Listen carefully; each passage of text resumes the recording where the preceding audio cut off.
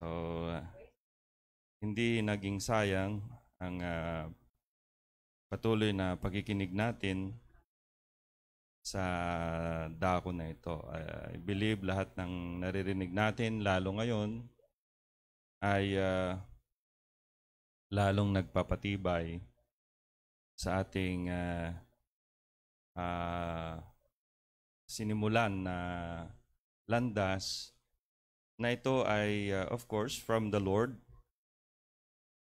na adhikain. At uh, we are 100% sure na eh, hindi yan uh, kasinungalingan no? Uh, sapagkat kung ganun lang din naman ang ating paglilingkod eh mukhang nagsasayang lang tayo ng ating oras at uh, panahon. At meron tayong katiyakan dahil kailanman ay hindi tayo nag-imbento rito. Kailanman ay hindi tayo nag uh, pahayag ng uh, sarili lang natin na haka-haka. Kundi tayo ay uh, sumunod sa daloy sa pamamagitan ng uh, propeta dahil kailangan merong uh, continuity sapagkat sabi nga ng prophet the spirit the prophet the bride will be saying the same thing hindi pwedeng uh, kontrahim mo yung propeta para lang uh, panindigan mo at patunayan mo na yung tayo mo ay mali. Ganun talaga yan eh. Right? Para ikaw ang tama, oh, sabihin mo na obsolete na ang propeta. Eh, ne- never. Never mga kapatid. Kahit na anong kapahayagan na ibibigay ng ating Panginoon, hindi yan dapat uh, kokontra. Yung uh, uh, Bible ay uh, nasulat ng uh, uh, different authors, different dispensation of time, pero walang nagbungguan dyan. And then suddenly, lilitaw dito sa dulo ng panahon at sasabihin nila, eh, obsolete na ang prophet, hindi niya nakita. Wala, hindi po pwede yun dahil siya yung uh, uh, major prophet fulfilling Revelation 10.7 na kung saan uh, mahahayag yung tinatawag na uh, hiwaga, yung kumpletong hiwaga ng ating Panginoon. So, yun ang danger. Uh, marami ng ganyan.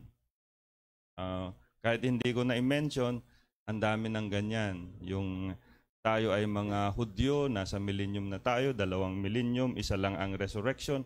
Ang dami mga kapatid at uh, yan ay pagpapatunay lamang na marami ng nalisya dito sa mensahe na ito. Ngunit, tandaan natin, kung nasaan ang totoo, doon naman naglilipa na yung mga peke. Di ba? Uh, usong-uso ngayon ang fake, fake news.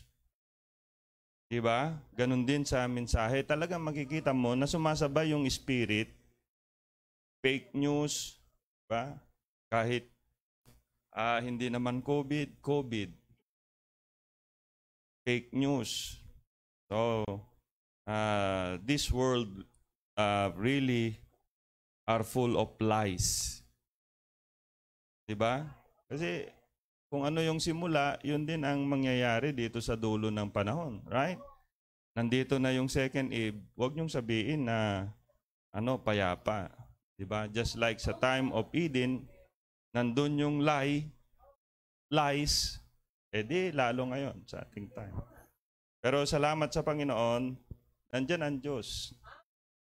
And uh, it has something to do with, with the, what we will take up this afternoon na kung saan napakahalaga na makita ng uh, elect yung tinatawag na uh, manifestation ng God in flesh. So ating aalamin sa tulong ng Panginoon kasi merong layunin ng Diyos kung bakit uh, siya ay uh, dumarating sa eksena. Amen? Merong importanteng bagay o meron siyang importanteng gagawin, meron siyang importanteng mensahe, meron siyang importanteng sasabihin kung ang Diyos na mismo ang uh, dumarating sa eksena. Now, we, uh, hindi natin uh, isinasantabi o minamaliit ang mga propeta ng Diyos. Sila ay ginamit din naman ng Diyos, right? Pero iba yung mismong ang Diyos na mismo ang dumarating sa eksena at yun ay mayroong dahilan. Right?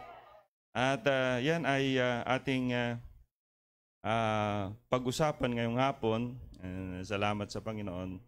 Kanina ay um, nag-ano na kami ng requirement namin for travel para walang aberya. Uh, ano na kami, yung na magpapaano uh, na kami, yung papa yung pala yung antigen, swab din yon. Uh, swab antigen. So yung tusok-tusok ng dugo, wala na daw yon. No? So ang ano, kakalikutin yung susungkitin yung ano, yung pulot diyan sa sa ilong. Tapos malalaman yung result after 30 minutes. So sabi namin kanina, kung 30 minutes, tapos sa Saturday ang flight namin, eh, papasok na yung 72 hours. Eh, dapat yung uh, result ay hindi lalagpas ng 72 hours.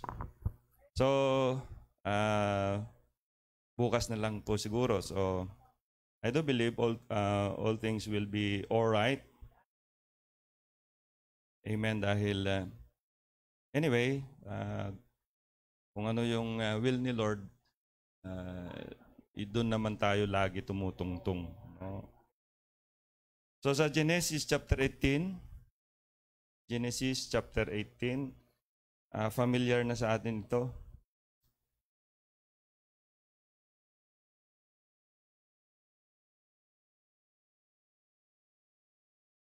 Ang Diyos mismo ang nag-appear dito in flesh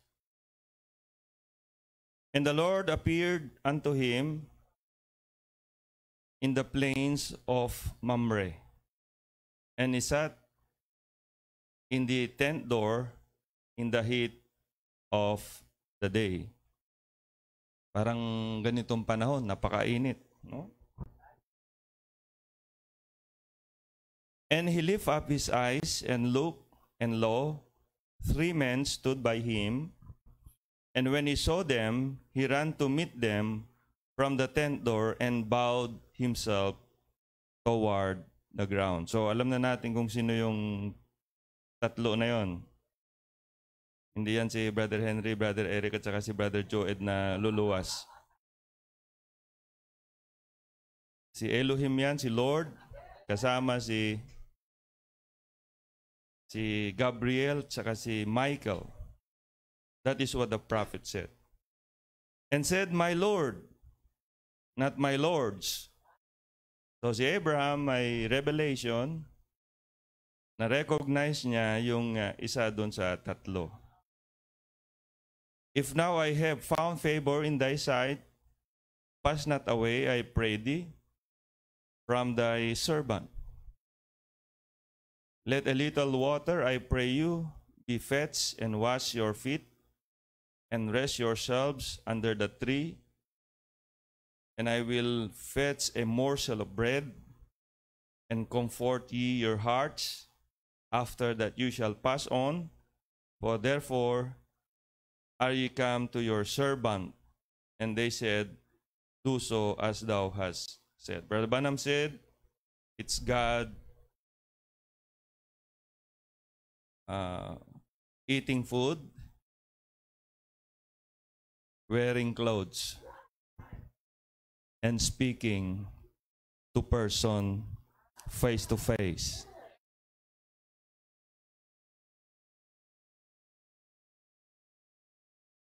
And Abraham hastened into the tent unto Sarah and said, Make ready quickly three measures of fine meal, knead it, and make cakes upon the heart. And Abraham ran unto the herd and fetched a calf tender and good, and gave it unto a young man, and he hastened to dress it. And he took butter and milk and the calf which he had dressed and set it before them, and he stood by the, them under the tree, and they did eat. Siyempre, may space of time yan. Napakabilis naman nung kinata yung baka. Mahaba-habang oras din yun. Habang naghihintay, eh, I do believe si uh, Elohim or God Himself was talking to, was uh, talking with uh, Abraham. Nine, and they said unto him, Where is Sarah thy wife? And he said, Behold, in the tent. And he said, I will certainly return unto thee according to the time of life. And lo, Sarah thy wife shall have a son. And Sarah heard it in the tent door which was behind him. Now Abraham and Sarah were old and well stricken in age, and it ceased to be with Sarah after the manner of woman, woman. Therefore Sarah laughed within herself, saying, After I am waxed old, shall I have pleasure, my Lord being old also? And of course, that's uh, the human side. And the Lord said unto Abraham, Wherefore did Sarah laugh, saying, Shall I of a surety bear a child which am old? Is anything too hard for the Lord? Meron ba mahirap na bagay sa Panginoon? At the time appointed, I will return unto thee according to the time of life, and Sarah shall have a son. Then Sarah denied, saying, I laugh not. Okay na sana eh, no? Nagsinungaling pa. For she was afraid. And he said, Nay, but thou didst laugh. And the men rose up from thence and looked toward Sodom.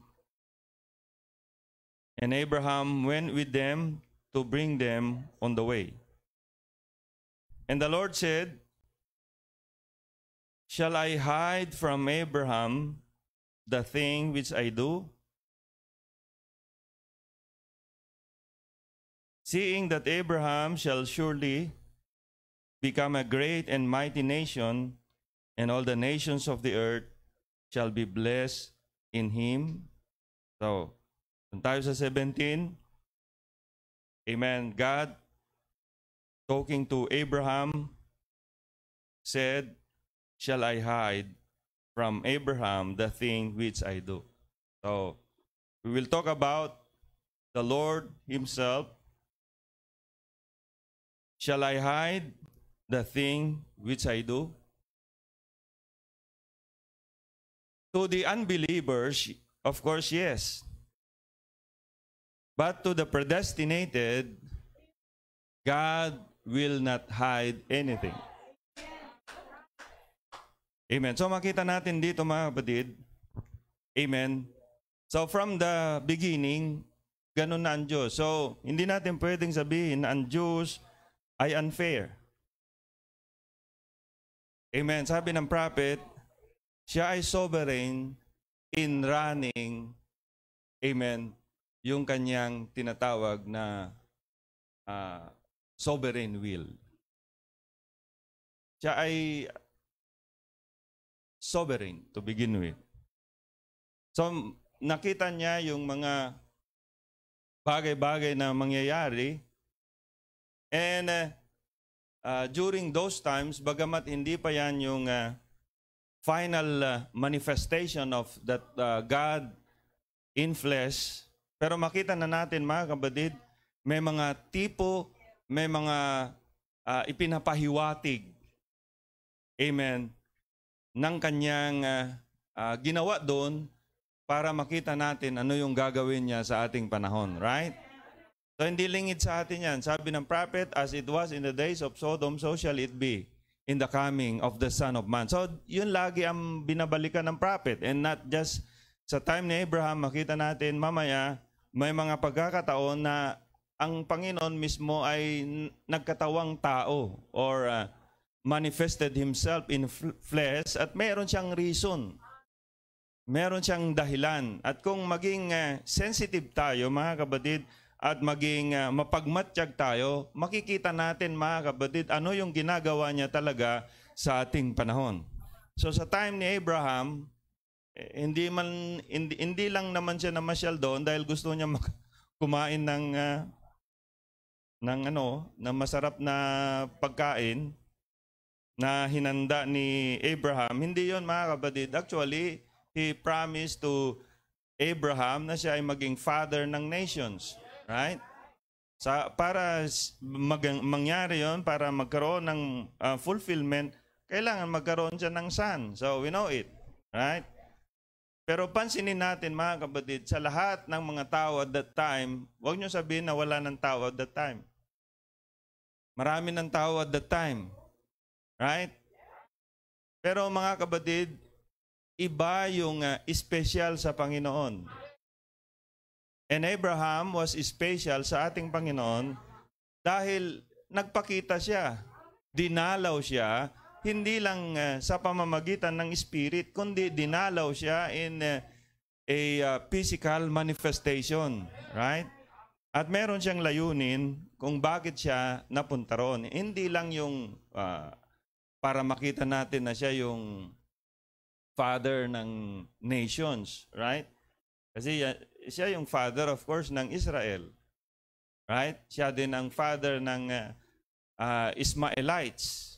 O yung mga sa ating panahon pa ay yung mga Muslim nations, mga Arabo, right? Anak lahat yan ni Abraham. Right? Pero mga kapatid, tignan natin ano yung tinitipon niya. Now sabi ni Brother Banham, daanan natin. So sabi niya, While he was sitting there, down come three men walking to him. Two of them went down into Sodom and preached the gospel to them to come out to Lot. Is that right?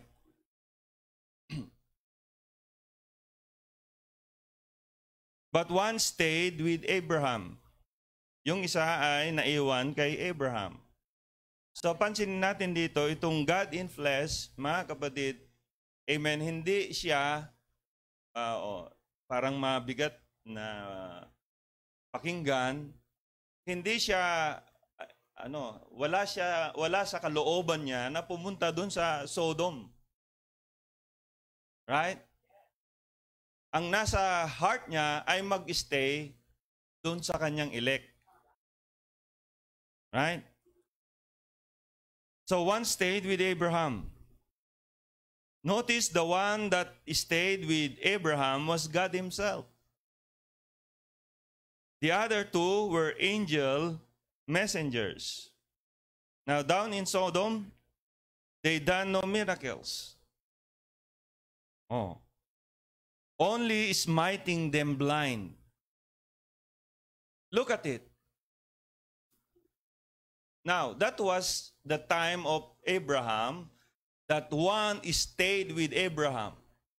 With Abraham. But we are so blessed. Amen. This one not just stayed with Abraham. Amen. Or in man in this day. This one was united with man. Right? Amen. So nag-enjoy si Abraham. Sa katunayan, mga kapatid, meron naka-record uh, ano yung ginawa nila, ano yung napag-usapan nila. Abraham nakipagtawaran sa Panginoon at the time, right? Amen. Kung merong uh, 50 righteous, hindi susunugin ng Diyos yung Sodom. Naging 40 hanggang naging 10. Pero wala doon, right? Alam ba ng Diyos na wala talaga doon? Wala, mga kapatid. So, hindi pwedeng pigilin. Amen. Nandun na yung heart ni Abraham sa mga naninirahan dun sa Sodom and Gomorrah. Nandun si Lot. Kaso lang mga kapatid, amen, makita natin dito, yung two angels pumunta doon, amen, hindi para buksan ang kanilang mga mata, kundi sila ay bulagin. So right now, it's dangerous kung wala ka doon sa God in flesh. Right? Makikita natin mamaya mga kapatid, kasi kung wala ka sa uh, kalipunan ng God in flesh, yes, merong say, pero si Lot. And we know Lot, mga kapatid, is the type of the foolish virgin. Right? Pero yung uh, uh, bride, na kung saan, sa time na yon ang Diyos stayed with Abraham. Nakasama ng Diyos si Abraham. But this time, this one not just stayed with the bride, He was united with the bride. Amen. And then, outside of that is dangerous. Merong smiting angels, smiting them blind.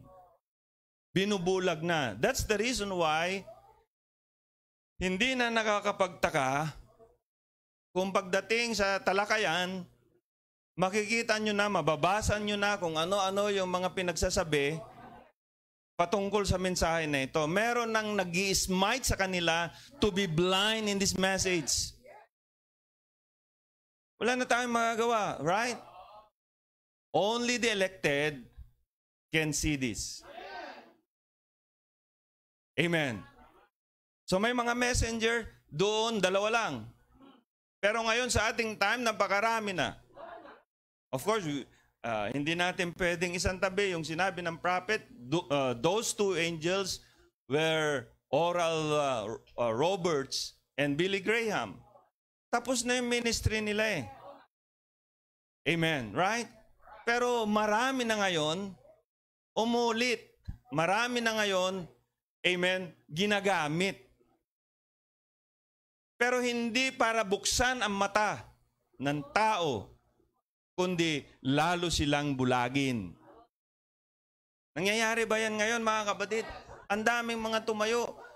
Amen. Imbes na ipangaral yung uh, tama, balancing uh, kapahayagan na galing sa Diyos, sariling haka, sariling isip, ang naging resulta kung ano-ano na lang. Right? Tapos ng rapture, son of David na tayo, nasa millennium na tayo. Right? Si Kristo at Satanas, iisa. Anong klaseng pangangaral yan, mga kapatid? Amen. But we are so thankful, amen, that God in flesh stayed with you. Stayed in you, rather. Amen. And preaching the gospel always smites them blind. Now look at that set of that day. There is a church natural, always trees. As I said last night, God is represented. There was Sodomites. Wala na talaga yon. The Lotites. Sino yung Lotites? Remember, Lot was saved. But he was the type of the foolish virgin. Amen. Right? And the Abrahamites. Sino naman yung Abrahamites? Ang tipo, walang iba kundi ang bride. Ang difference lang at that time, si Abraham nakasama na uh, nakasama niya yung God in flesh, nag-stay yung God in flesh. Amen. But this time, hindi lang nag-stay yung God in flesh, nanahan yung God sa flesh.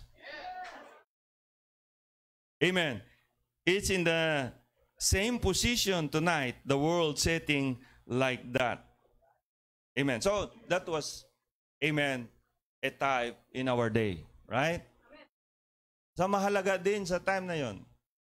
And going back to what we, we have read, tinupad ng Diyos ang kanyang pangako, right? According to the time of life. Amen.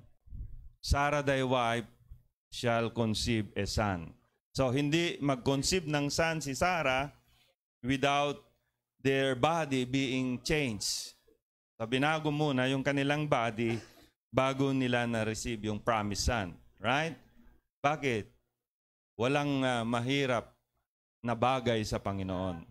At higit sa lahat, ililihim ba ng Diyos ang kanyang gagawin sa kanyang elect?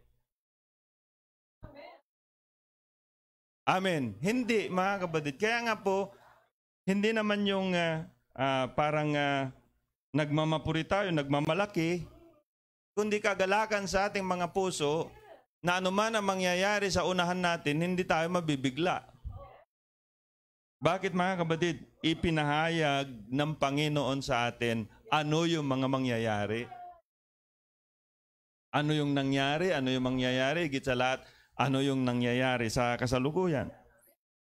Amen. So makita natin, amen, mapalad yung ang nakita nila ay Diyos. Amen. Pero majority, ang nakita nila, tao. Now, sabi ng prophet, another quote, I want to read. God veiled in the form of a man. Hid himself from their view. Amen. Kaya sa time na yon, kahit siguro si Elohim or yung uh, God in flesh magpakita sa tao, hindi nila paniniwalaan. Unlike Abraham, meron na siyang personal experience. Una, nangusap sa kanya. Secondly, sa first encounter nila physically, nagkaroon sila ng communion, right? And then, dinalaw siya. Aba, mahalaga si Abraham sa Diyos. Dinalaw siya. Right? Upang tuparin ang kanyang mga pangako sa kanya. So sabi niya, they could only see a man. Kahit sa panahon yan, sa time ni Abraham, uh, uh, in every age, sa time ni Lord, they could only see a man But those predestinated sin God. Yung mga elect, mga predestinated, ang nakita nila ay Diyos. At hindi lang nila nakita ang Diyos, kinausap sila ng Diyos, mga kapatid. At, igit sa lahat, anuman yung needs nila sa kanilang age, mga kapatid, hindi, amen, ipinagkait ng ating Panginoon. Right? Amen. One saw a man The other one saw God. Saan kayo dyan? We are so blessed here. Amen. Hindi natin nakita tao lang. We saw God in flesh. See? And it was God veiled in human being, making both of them right. But your faith in that what you don't see. You believe it anyhow, God veiled in a human being. He was in that flesh, and that flesh was his veil. The veil was rent, see, that God might be made manifest. Amen. Nakita nyo mga kapatid? Eh, na, na, na reveal na nga siya in flesh eh, right? But the veil was rent. What is the veil? Yung flesh ni Lord see that God might be made manifest. Amen. So, going back to Abraham. So, hindi na bago sa atin yon. Amen. Nireveal ng Diyos ano yung kanyang gagawin. Right? Ang highlight doon ay hindi si Lot. Ang highlight doon ay yung promise. And that promise ay walang iba kundi yung promise son. Nireveal ba ng Diyos kay Abraham na isa sa mga araw na iyon, sila ay makaka-experience ng body change? Nireveal ba ng Diyos yun? Yes, of course. Amen. Siya na nga nagbigay ng clue. Meron ba mahirap na bagay sa Diyos? At mahirap na bagay yung palitan yung kanilang mga katawan. Right? Mahirap yon. Pero, again, walang imposible sa Diyos. Amen. So, napakainam yung encounter. Amen. Yung fellowship ni Abraham sa Diyos. Right? Amen. Inireveal sa kanya ano yung mga mangyayari. At ang Diyos ay nag-set din ng uh, tinatawag na timetable according to the time of life. Sarah, thy wife, shall conceive. Ano yung time of life? A body change. Right? Amen. So that was the visitation of God to Abraham. Amen. Now, hindi ko man maubos, but uh, I, I will just go to yung mga highlight wherein ang Diyos ay nagpakita sa tao. Amen. Siyempre, saan yung tao din? Right? Now, one day, sa time ni Joshua, mention ng prophet, One day, when he was out walking around, si uh, Joshua, nakatawid na sila, and uh, iniisip niya, plinaplano niya, paano niya magapi ang uh, Jericho, right? Unang-una, it was fortified. Napakakapal yung pader na harang. So, nagmumuni-muni siya ron, umiikot marahil, nagpaplano. Amen. At alam nyo ba mga kapatid, Amen. Hindi lang sa time ni Joshua, even our time, kung tayo ay nag-iisip what we will do, Amen. Meron bang bagay na itatago ang Diyos. right? Amen. So, ganun din. Sa time ni Joshua, sabi ng prophet, he was walking out. He was out walking around, viewing the walls. And then, he seen a man standing with his sword drawn. So sa time na yon mga kapatid, biglang dumating uli sa eksena ang Diyos sa laman. Right? Sa time na kung saan si Joshua ay nag-iisip, paano niya makamit yung victory. Right? Habang uh, uh, plinaplano niya ano yung kanyang gagawin, And then the Lord appeared to him. The same thing with, with us. And he pulled his sword and went to meet the man. He said, Who are you for? Tapang ni Joshua. Are you with us? Or are you for our enemy? He said, I am the captain of the host of the Lord.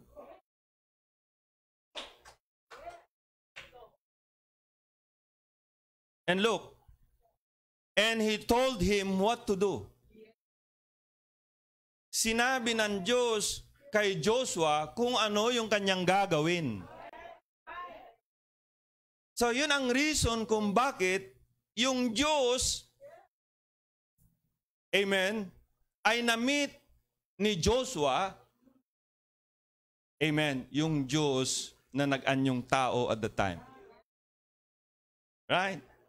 So he was pondering anong gagawin niya, ano yung taktika niya, nag-iisip siya paano siya makapagtagumpay, and then suddenly, the Lord appeared to him, amen, as the captain of the host of the Lord. Amen.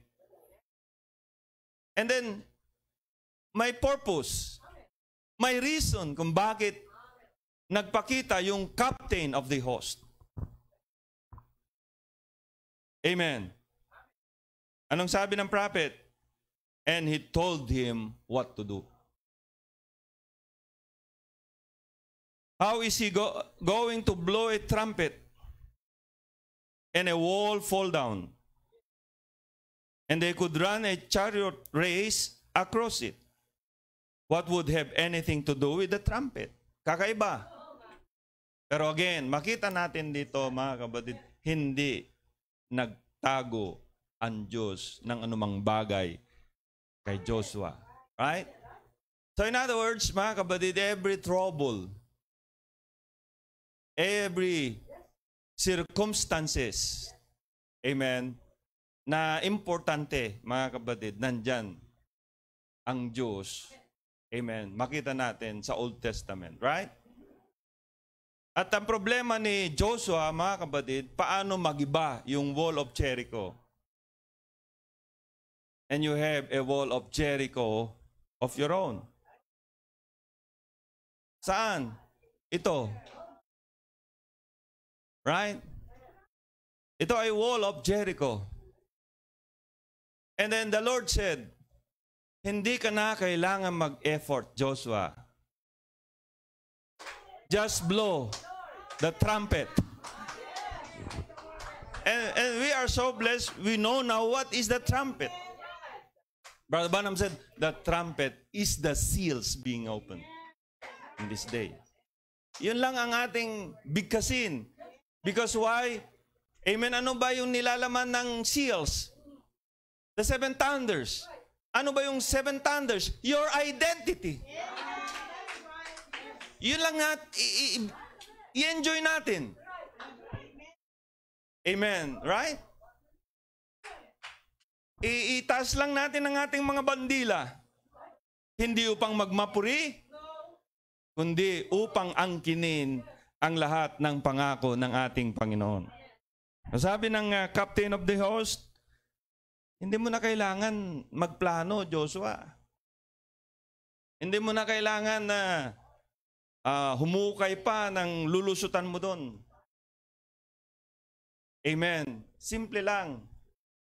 Pitong ikot lang yan. Right? Magigiba na yung wall of Jericho. Right? Seven thunders lang yan. Amen. Magbabody change na ito. Because the seven thunders will give you the rapturing faith. And that rapturing faith, mga kapatid, napakahalaga sa body change. Amen. Glo- glory to God. God uses such simple methods. It's so the simplicity of it.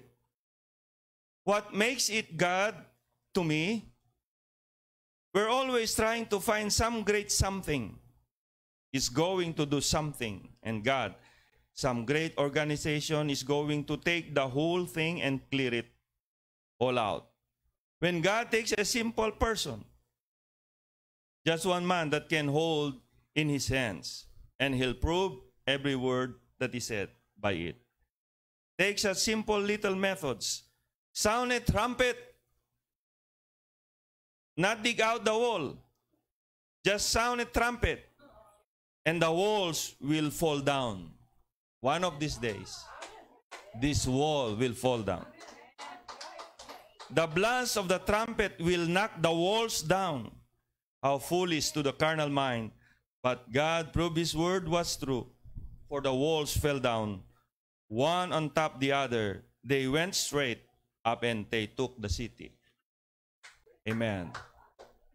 This wall one day will fall and we will be going to a city whose builder and maker was God Himself.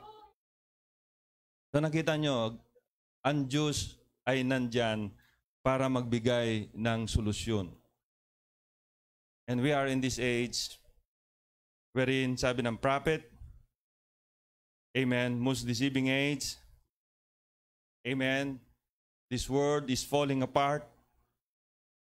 Kaya sa so, totoo lang, uh, hindi na ako nanonood ng balita. Bakit? Wala nang mapanood na magandang balita. Right? May maganda sanang balita, yung damayan, right? Yung naglatag ng mga ano, mga goods. Tawag nila diyan yung parang ano eh. Ang tawag doon?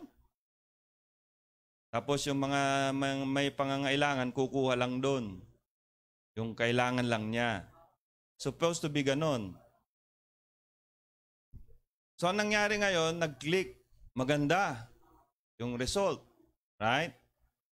Kaso lang, ang tao talaga, kahit anong gawin mo, liko. Diba? Pumunta doon, tinangay lahat yung itlog. Dapat kailangan lang ang kukunin. Nilinis yung mga lamesa. Sabi ko, grabe naman yan. Kaya hindi mo maasahan talaga pag tao eh, lalo pag ganyan. Ang purpose nun, matulungan yung walang-wala. Yung meron naman, magdadala doon, ganon. Parang damayan, tulungan. Eh, yung ano naman, pupunta, eh, na problema naman ngayon yung gobyerno kasi ang haba na ng pila. Yan yung mga kapatid. Magulo na. Tapos, puro na lang COVID. So, sa ngayon, ang namamagnify ay si Satan. Sapagkat lahat, lahat na yan ay works of Satan. Pero salamat sa Panginoon, sa kabila niyan, may mga nag enjoy naman. Pag-usapan ng tungkol sa Panginoon. Hindi lang pag-usapan ng Panginoon, kundi ang Panginoon ay nakikipag-usap sa isa't isa. Amen. At hindi itinatago ang mga bagay na kanyang gagawin. Amen. Di ba mga batid? Yun ang sinabi ng uh, Panginoon kay uh, Abraham.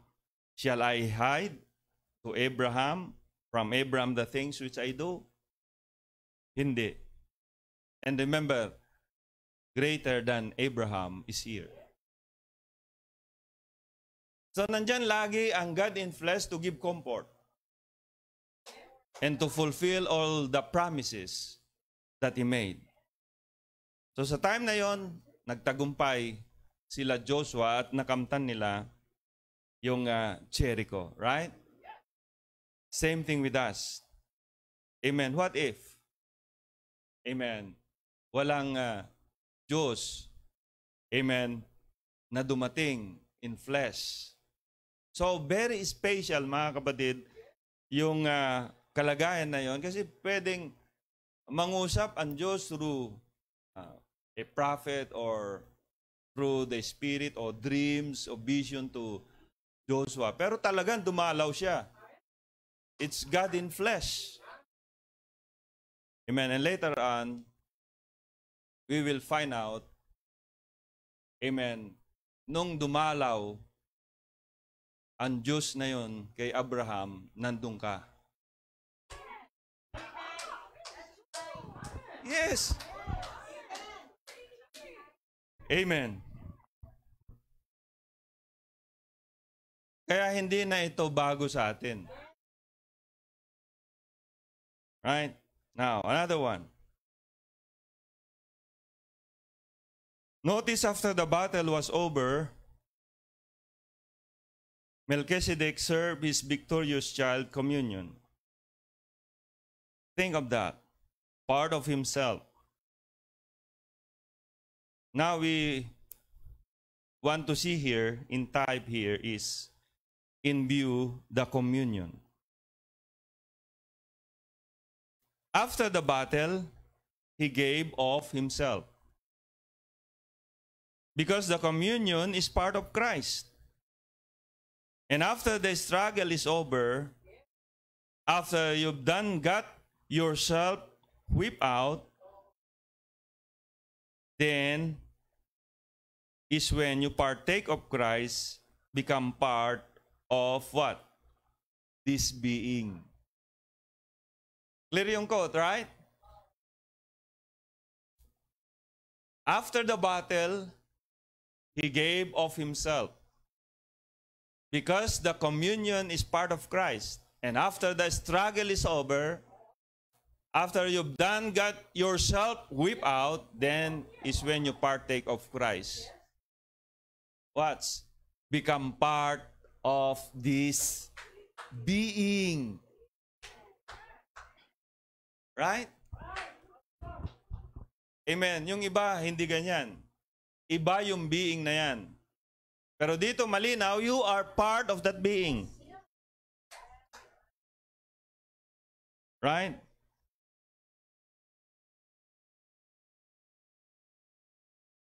Amen. You get it? Jacob wrestled all night and wouldn't turn him loose until he blessed him. So again, sa time na yon, amen, si Jacob, mga kapatid, tumatakbo, right? Sa kanyang kapatid na si Esau, bakit nagulangan niya yung kanyang kapatid eh? Right? So ang uh, consequence ay tumatakbo siya ngayon. Kasi nahabol siya. And then, sa kalagayan na yon, God appeared to him. God in flesh. And Jacob wrestled all night. At uh, hindi niya yan binitawan hanggang hindi siya pagpapalain. That's right. Battled for life. And after the battle is over, then God gives you of Himself. That is His true communion. The little bread and wafer just represents it. You should not take it lest you wrestled it out and become part of God. So si Jacob again, nakita natin, Amen? Siya ay, uh, at that time, I will say, wandering. Wandering star. Right? Wala siya sa kanyang uh, perfect position, but uh, he was elected, predestinated, because he was a seed of God to begin with. Amen. Kaso lang hindi niya na-receive yung blessing kung hindi niya muna ma-meet yung God in flesh. Right? So na-meet niya yung God in flesh. Hindi niya hinanap yung God in flesh. Hindi niya hinanap yung angel. Yung angel ang nagpakita sa kanya. Because why? Jacob was predestinated. At hindi na niya binitawan. Right? At sa ating time, Amen. Nung hinawakan nyo yung kapahayagan, sino kayo, kailanman hindi nyo yan bibitawan. Maraming umawak niyan pero ma- mabilis na paso. Binitawan. Bakit? Hindi nila kaya to begin with. Hindi para sa kanila to begin with. Amen. At hinawakan natin yung kapahayagan na yan yung God ay nasa flesh. Hinawakan natin yon. Pinanghawakan natin yon, right? And what's next? You receive the blessing. That's the reason why we are so blessed. Right? We are so blessed. Amen? Nagkaroon tayo ng name change. And then, God gives you of Himself. Amen. And that's uniting. So there's a lot, mga kapatid. Every time ang Diyos nariyan, meron siyang gagawin. At yun ay types lang ng reality. Those times, mga kapatid, they met God. Amen. Physically. But this time, you met God because He is in you. You are part of Him. Amen? So, lahat ng uh, mga bagay na tila bagang imposible ay posible. Remember, the Lord said, Amen, walang imposible sa mga sumasampalataya. Amen. There is uh, merong laging uh, posible sa mga sumasampalataya. Walang imposible kasi sa Kanya. Amen. So sabi ko kanina, hindi na ito bago sa atin. Kung mabuksan yung ating understanding, who we are. Right? So, anumang bagay ngayon na nasa ating harapan, amen, for me, it's all settled. Kasi, who is greater? Abraham o the bride? Now, we are not comparing. We just have to face the reality. Who is greater, Joshua or the bride? Who is greater, Jacob or the bride? Sa katunayan, mga kapatid, Amen, during those times, you were there. During those times, I was there. Amen. Now, sabi ng prophet, to be a, to be a true Christian, you have to be the same. We don't want to forget that. All that he was, I am I'm identified with him. I'm identified with him. Notice, and he is in me, and I in Him. Amen. He is in me, and I in Him. Kailan yon?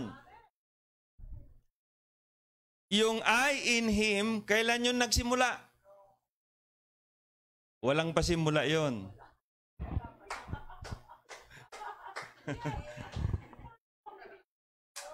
Before the foundation of the world, You are in Him. Pero yung He is in me, yan, yung may pasimula yon. Amen. Notice then, every Christian that's real, genuine Christian, Christians was with Him. Kailan daw yon? When the morning stars sang together and the sons of God shouted for joy before there was a foundation of the world. You were there.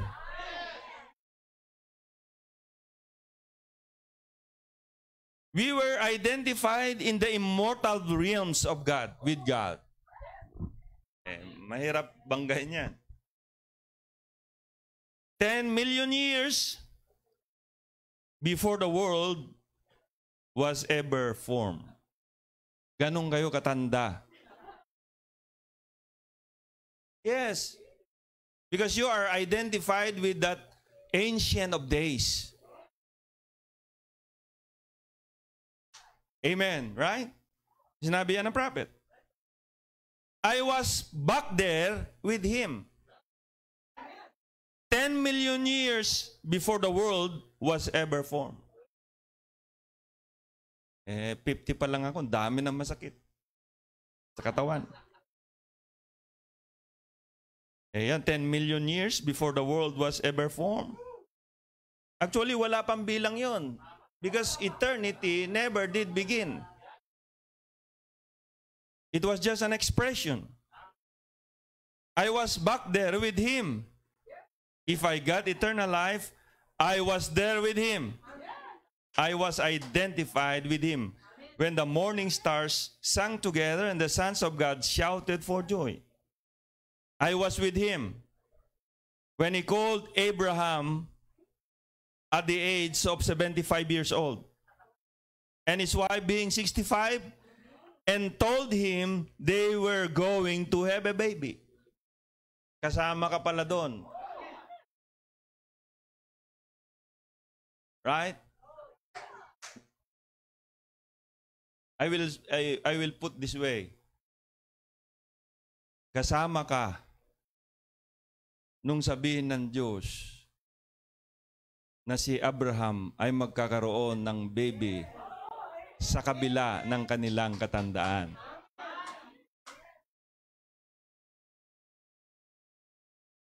I was with him when he took his stand upon thus saith the Lord. I'm going to have a baby. I stood with him.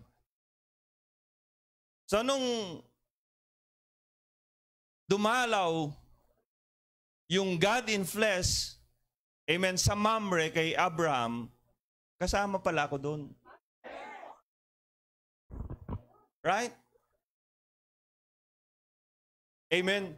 So habang nire-reveal ng Diyos ang mga bagay at uh, kailanman, amen, wala siyang inilihim, itinago kay Abraham, kasama na pala tayo doon. Right? Kaya nga masaya tayo mga kapatid, binubuksan ng Panginoon. Amen, yung ating uh, alaala. Ginamot niya yung ating spiritual na amnesia. Ngayon, meron bang bagay ngayon na pwedeng makahadlang upang ating angkinin ang lahat ng pangako ng ating Panginoon? Wala. Right? Amen. Every other Christian stood with him. I was with him when his temptation came. I was with him when he went up on top the mountain to offer up Isaac. I was with him when the ram appeared. Amen. I was with Joseph when he was rejected of his brothers because he was spiritual and the rest of them was carnal. I was with him when he knew the reproach he had to stand by his own brothers. What he was, I am. What he was, I am. What I am, he was. For, for we are all one in Christ Jesus. I was with Joseph in his cave, grave. I was with him when he went to the right hand of Pharaoh. You had to be identified with him. I was with Jacob that night when he wrestled all night with the angel. I've wrestled myself. I know what he, he went through with. So I wrestled with Jacob Pansinin nyo. So I wrestled with Jacob. Kayo pala ay kasama. Amen. Na nakipag-wrestling kay Jacob. Right? The same time he did, for I am his brother. Napakahaba yan, mga kapatid. Whatever it is, sa 94, whatever Christians has been, lahat yan, kasama kayo when uh, Moses divided the sea. Sa 94, whatever Christians has been, whatever believers has been, every believer now is identified with that same person. Whatever it is, you must be identified. Don't forget that. When you do, you've got spiritual amnesia. You've forgotten who you are. But salamat sa Panginoon, never, amen, na makalimutan ngayon ng bride kung sino siya. Kaya nga, sabi nga ng prophet, mga kapatid, amen, yung mystery ng seven seal, yung hiwaga, ay nandun sa Bible. Right? If you can see Christ in every verse, go back again. And you are part of Christ. Amen. 99. Para mabilis. I was with Daniel in the lion's den. I was identified in there when the angel of the Lord identified him in there. I was most surely with him at Calvary. I must be identified with him at Calvary. I must be there to a place that where not also was I identified with him at Calvary, I died with him at Calvary. Every, uh, every Christian must die with him at Calvary. If you don't die with him at Calvary, you can be none of his. I was there when he died. I died with him. And then I was with him when he raised up from the dead. I come up on Easter morning with him in the resurrection. Whatever he did, I was right there with him. Ano man yung kanyang ginawa, nandun ako. Ano man yung kanyang ginawa kay Abraham, nandun ako. Kay Joshua, nandun ako. Kay Moses, nandun ako. Kay Jacob, nandun ako. Right? So lahat ng mga bagay na yan, hindi na yan bago sa atin. So dapat mga kapatid, hindi na mabigat para sa atin ang mga bagay na pangako ng Panginoon. Right? Kaya ganun ang pangungusap ng Panginoon because why? Hindi tayo iba eh. Kaya nga mabigat sa iba, pero sa mga elect, hindi. Sweet as honey. Amen. Whatever he did, I was right there with him. Every believer was the same. And now I am seated with him in heavenly places in Christ Jesus, with all the powers of hell conquered through him. Every Christian believer was seated the same way because you have to be identified. Amen. So, we know now who we are in this day. So, sa time ni Abraham, amen, parang sa tingin natin noon, napakapalad ni Abraham, dinalaw siya ng Diyos sa laman, kinausap, ibinig, ibinigay yung pangako. Amen, napakalapit ng Diyos kay Abraham. Di ba? Nakipagtawaran pa si Abraham sa kanya. Amen. Samantalang na-realize natin, amen, nung nakikipagtawaran pala si Abraham, kasama ako. Right? Nung nangako pala si, uh, si Elohim kay Abraham, kasama din ako na nangako. Di how much more in this day? We are so blessed. Amen. Kung walang itinagong mga bagay, kay Abraham. How much more sa atin in this day? Wala po. Amen. Kaya po ang bride ngayon mga kapatid ay relax. Amen. Remember the prophet said, this is relaxing time. Hindi dapat tayo na-entangle sa mga circumstances. No wonder why the prophet said, greater than He, greater that is in us than He that is in the world. Amen. No wonder why the prophet said, Amen, you are an invincible army. Amen. Bakit mga kapatid? You are identified with that captain of the host. Na kung saan iriri, nag-reveal kay Joshua ano yung gagawin niya. Right? Amen. Hindi ka na mag-effort. Joshua, hindi mo na kailangan mag-effort. Amen. Just speak. Just blow the trumpet. And the wall of Jericho will fall. Just speak. Just claim every word. Just claim every promise. And then one day, this wall will fall. And we enter into a new city, a new body that's been prepared before the foundation of the world. Yung palang nagbigay ng assurance kay Abraham na kung saan sinabi niya, meron ba mahirap na bagay sa Diyos? Kasama ka palang nagsabi.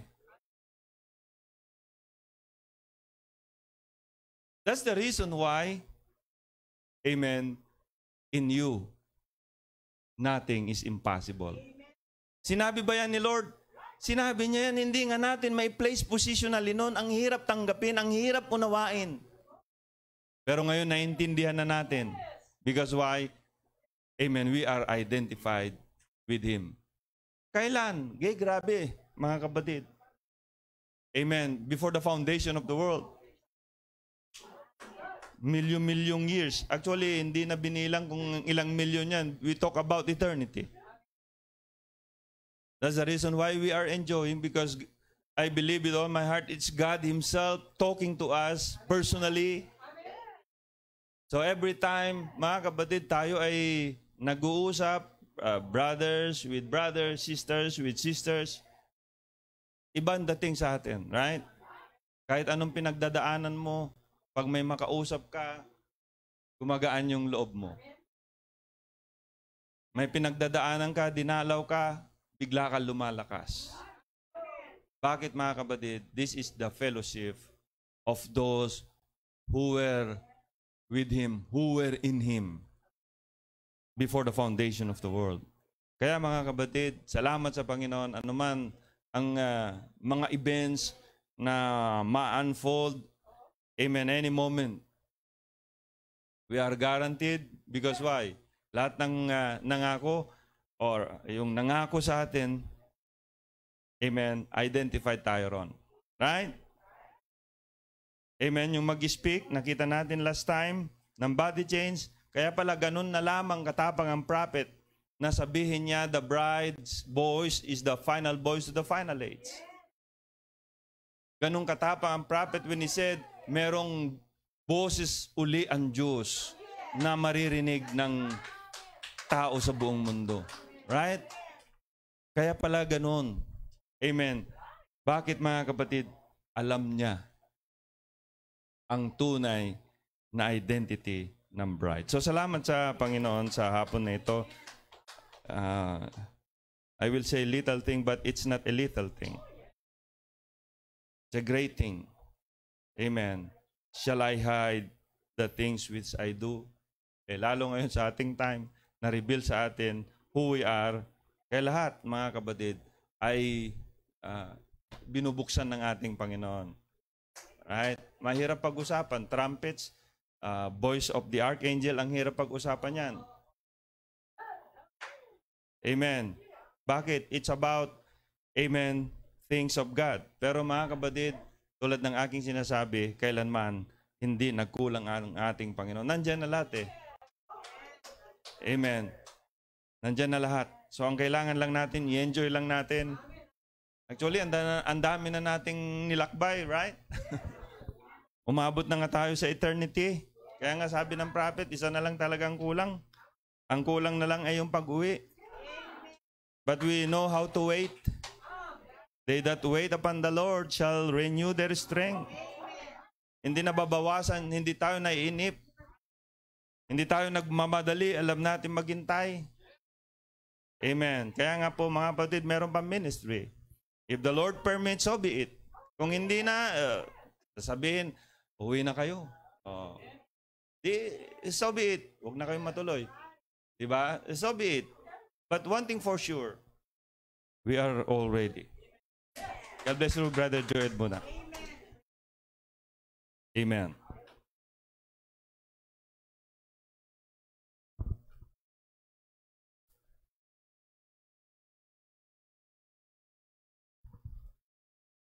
Praise the Lord.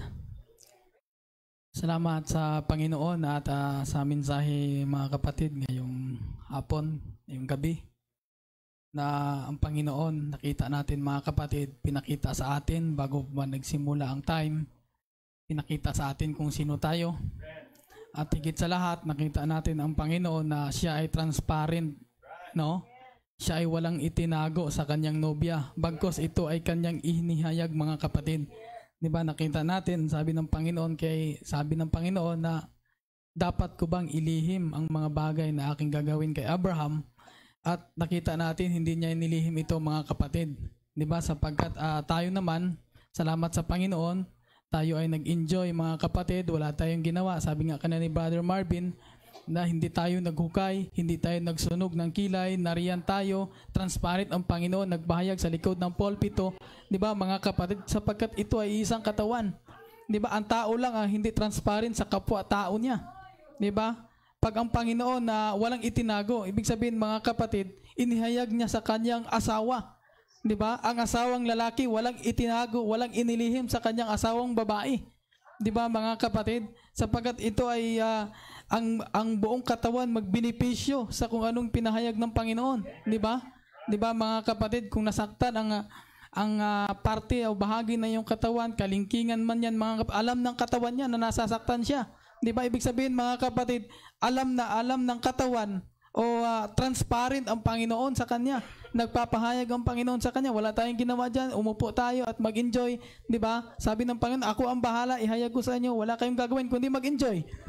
'Di ba mga kapatid? At ito ngayon ang ginagawa ng Panginoon. 'Di ba? Wala tayong nandyan lang tayo nakaupo mga kapatid at ah, masaya tayo, 'di ba? 'Di ba mga kapatid? At ah, nakita natin mga kapatid na ah, bago pa man nagsimula yung time before the foundation pa man mga kapatid, nandoon ka na. 'Di ba? At ah, at inihayag ng Panginoon 'yan. 'Di ba mga kapatid, ipinakita ng Panginoon 'yan, wala siyang itinago, 'di ba mga kapatid? Ang tao lang naman ang mahilig magtago.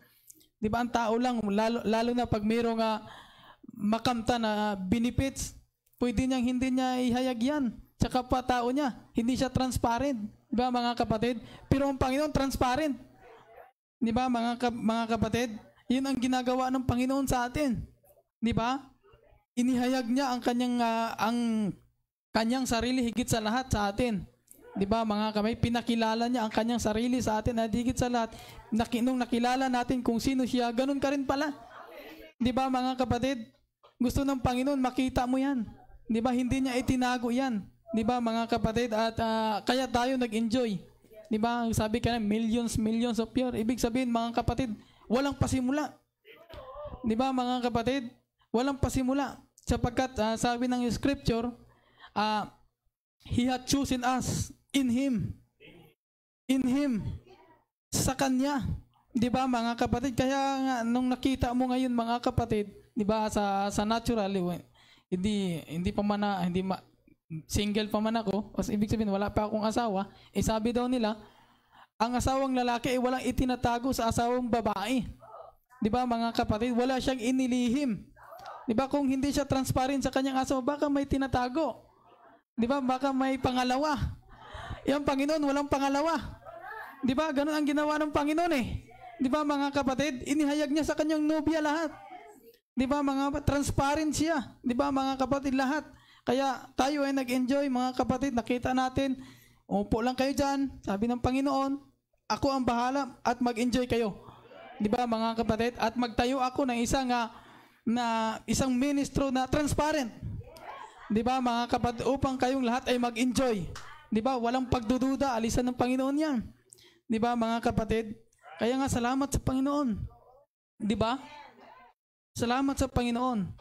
Sabi ko nga, tao lang naman ang hindi transparent sa kapwa niya tao.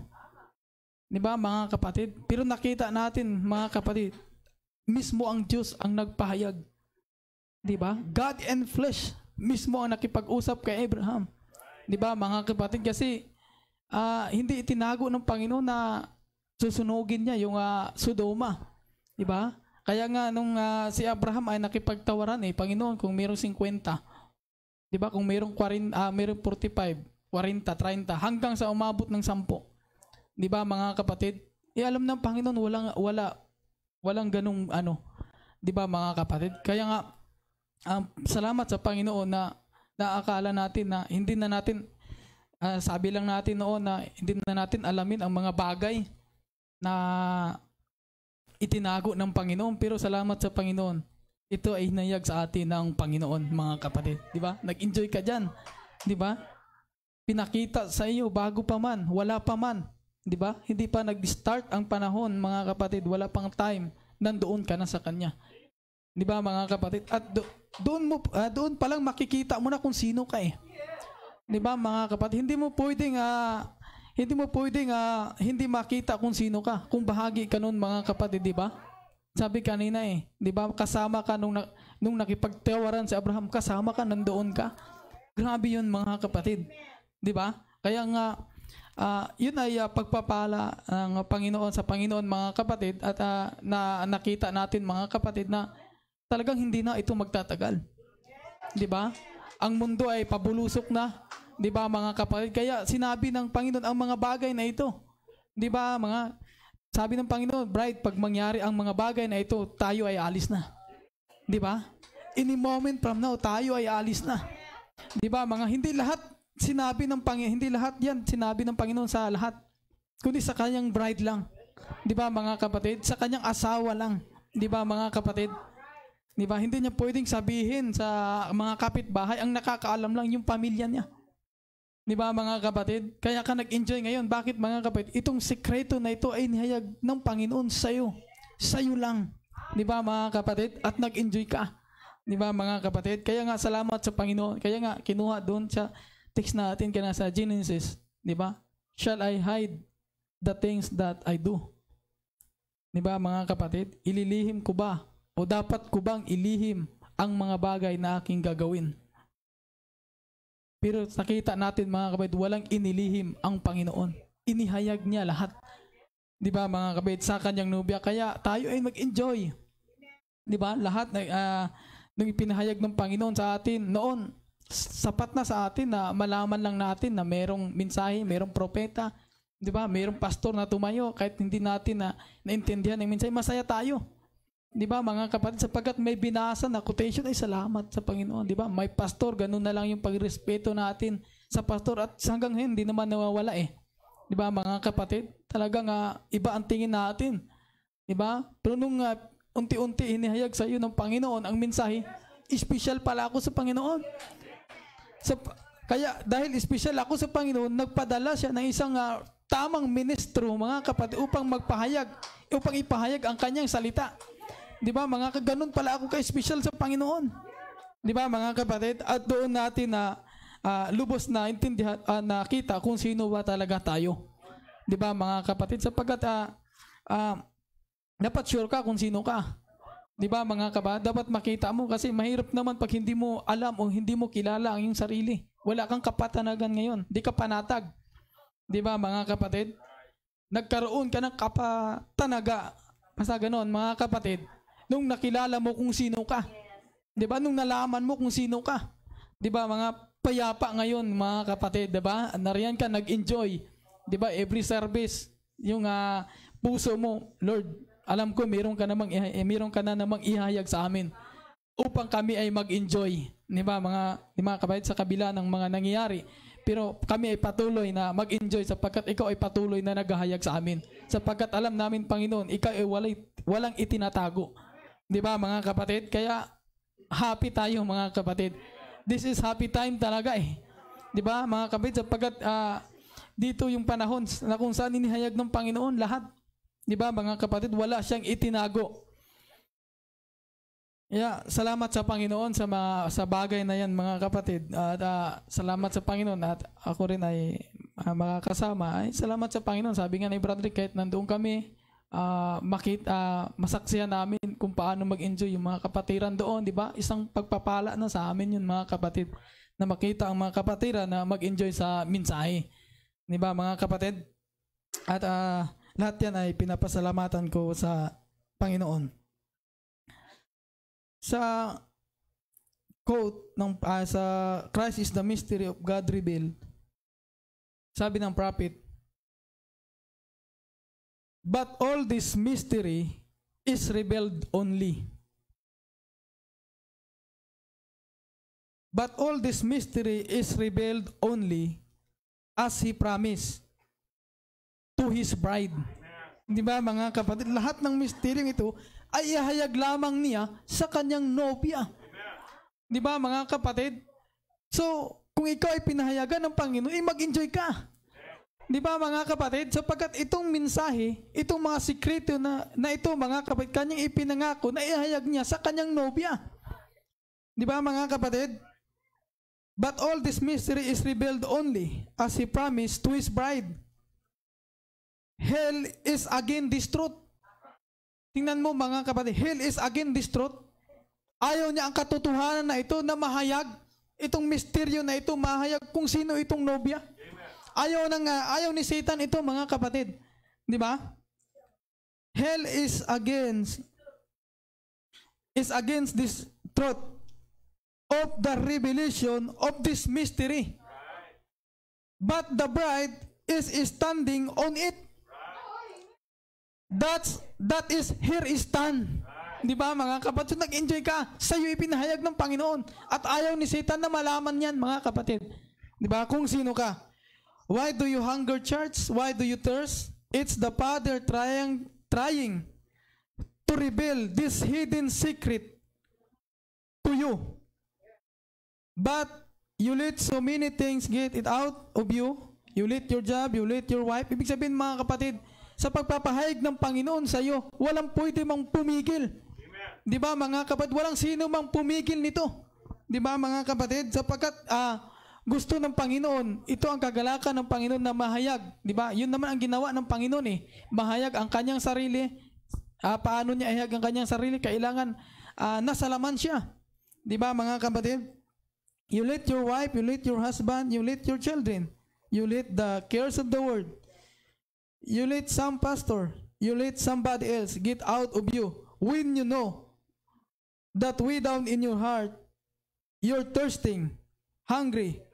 It's God trying to reveal it to you. See, the revelation, the last day is here. Di ba? Walang makapapigil mga kapatid sa pagpapahayag ng Panginoon. Kaya sabi ka niya, dapat ba, inilihim ko ba ang mga bagay? Di ba, na aking gagawin? Kanyang inihayag. Di ba, mga kapatid? Kaya nga, ganun na lang pala si Satan. Ayaw niya na malaman kung sino ka. Di ba, mga kapatid? At walang sino mang pumigil. Maging asawa mo man, maging pastor mo man, mga kapatid. Pag gustong ihayag ng Panginoon sa iyo, walang sino mang pwedeng pumigil. Di ba mga kapatid? Sapagat gusto ng Panginoon na malaman mo kung sino ka. Di ba? Ang daming mga quote kanina. Bago pa nag-start, before the foundation of the world, kasama ka na niya. Di ba mga kapatid? Nandoon ka na. At kasama ka ng Panginoon na nagplano ng lahat ng ito mga kapatid. Now, sa spiritual food in due season, sabi niya, Now, if He appeared to us in a physical body, Now, if He appeared to us in a physical body, look just exactly like Hopeman's head of Christ at 33, and blood running out of his hand, and so forth, nail scars all over him, I would not accept it. Bakit mga kapatid? Tingnan mo ha. Sabi ng brother, hindi daw niya ah, tatanggapin ito. Bakit? Alam ng propeta na ang Panginoon ay nasa kanya. Ganon ka rin mga kapatid. Di ba? I would not accept it. No, no, no, no. When he comes himself, every eye shall see him. Every tongue shall confess him. And as the lightning cometh from the east unto the west, so shall it be. See, we don't believe these cults and clans. We believe God is the Word. But He embodies Himself, taking your body and my body. So walang nalihim. Sa iba, nalihim ito. Di ba? Ang kanyang pagparito ay nalihim sa iba, pero sa iyo hindi nalihim. Di ba mga kapatid? Bakit? Nariyan siya sa iyo eh. Di ba mga kapatid, bahagi ka ng pagdating na yun eh. Di ba mga kapatid? Taking your body and my body and gives you gifts, gives me gifts, and through these gifts, He makes Himself known. That's the secret food. No matter how much He would make Himself known by me, you've got to believe it. You've got to have a gift of faith to, to believe it. You believe that. And now, if He will manifest Himself in that manner, will you believe Him with all your heart? You'll believe Him. How wonderful just waiting on Him, just waiting to see what He says. Di ba mga kapatid? At yun ang uh, pinaka uh, ina, uh, inaantay natin mga kapatid. Di ba? At nakita na natin, siya ay nagpahayag mismo sa iyo. Di ba? Yung relasyon mo sa Panginoon, mga personal mong relasyon sa Panginoon, nalaman mo ngayon sa pamagitan ng kapanganakang muli. Di ba mga kapatid? At nakilala mo, nakikita mo kung sino ka bang talaga. Di ba mga kapatid? At bahagi ka Di ba, mga bahagi kanya, mga kapatid, kaya nga, ganun na lang ang Panginoon, ganun na lang natin nakita na ang Panginoon transparent sa kanyang bride. Di ba, mga kapatid? Kaya nakita natin, salamat at mayroong transparent na tao, or sabihin kong tao upang magpahayag sa atin ito, mga kapatid, di ba? Kaya salamat sa Panginoon. Ang mundo, parang sabi nga kanina, uh, pa, sabi nga ni Pastor Gana, parang hindi na natin alam yung uh, ano ba talaga ang totoo, maraming fake news, 'Di ba mga kapatid, marami ng mga bogus. Pero salamat sa Panginoon mga kapatid. Mayroong isang katotohanan na ikaw ang ikaw lang ang nakakaalam. 'Di ba mga kapatid? Ikaw lang at ang Diyos ang nakakaalam. Yung relasyon mo sa Diyos mga kapatid. 'Di ba? Yun ang uh, gustong ipaabot ng uh, Panginoon sa atin. At wala siyang itinago sa atin, sabi nga kanina mga kapatid. Wala din siyang dapat itago sa atin. 'Di ba? Sapagkat pinili niya tayo sa Kanya bago pa man itinatag ang sanlibutan ito. Di ba? Kanina ang daming mga quote na binasa mga kapatid. Doon pala kung lalakbin mo, grabe Panginoon. Di ba? Samantalang sa panahon ni Abraham, wala pa man ako noon, pero nandoon ako. Di ba? Hindi natin alam yan mga kapatid, pero nung pinahayag ng Panginoon na ganun yun mga kapatid, nalaman natin, di ba, sa pagpapahayag ng Panginoon. Di ba, balikan mo ang mga panahon ba, noon ay parang iniidolo natin sana nandoon ako sa panahon ni Abraham. Na-meet niya ang Diyos in flesh. Di ba? Pero nung nalaman natin ngayon, God in flesh din pala. Di ba mga kapatid, nagpahayag din ang Panginoon. Di ba mga kapatid? Hindi tayo uh, uh, pinabayaan ng Panginoon. Di ba? Never na tayong pinabayaan mga kapatid. Nalaman natin yan mga kapatid. Noon, Marami tayong mga pagsubok na pinagdadaanan. Di ba? Maaring question natin ng Panginoon, bakit Panginoon na ganito, ganyan ang nangyari sa buhay ko, bakit naging ito pa yung uh, ano ko. Pero nung nakita mo mga kapatid, aba, nakita mo lahat yun nung pinahayag ng Panginoon, Panginoon, grabe, salamat Panginoon. At lahat ng bagay na yun ay tinakda mo. Di ba mga kapatid? At ganun na lang ang pasalamat mo sa Panginoon. Now, with your hands on one another. Ang, pangin ang propeta pag ang ano niya sa dulo ay talagang ano na yan eh.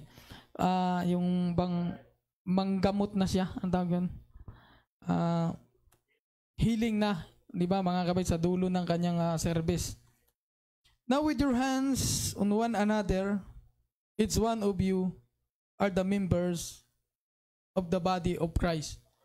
'Di ba? Kung sabihin natin tayo ay uh, bahagi o membro ng katawan ni Kristo, sinabi ng body-body, mga kapatid, pero hindi transparent sa body.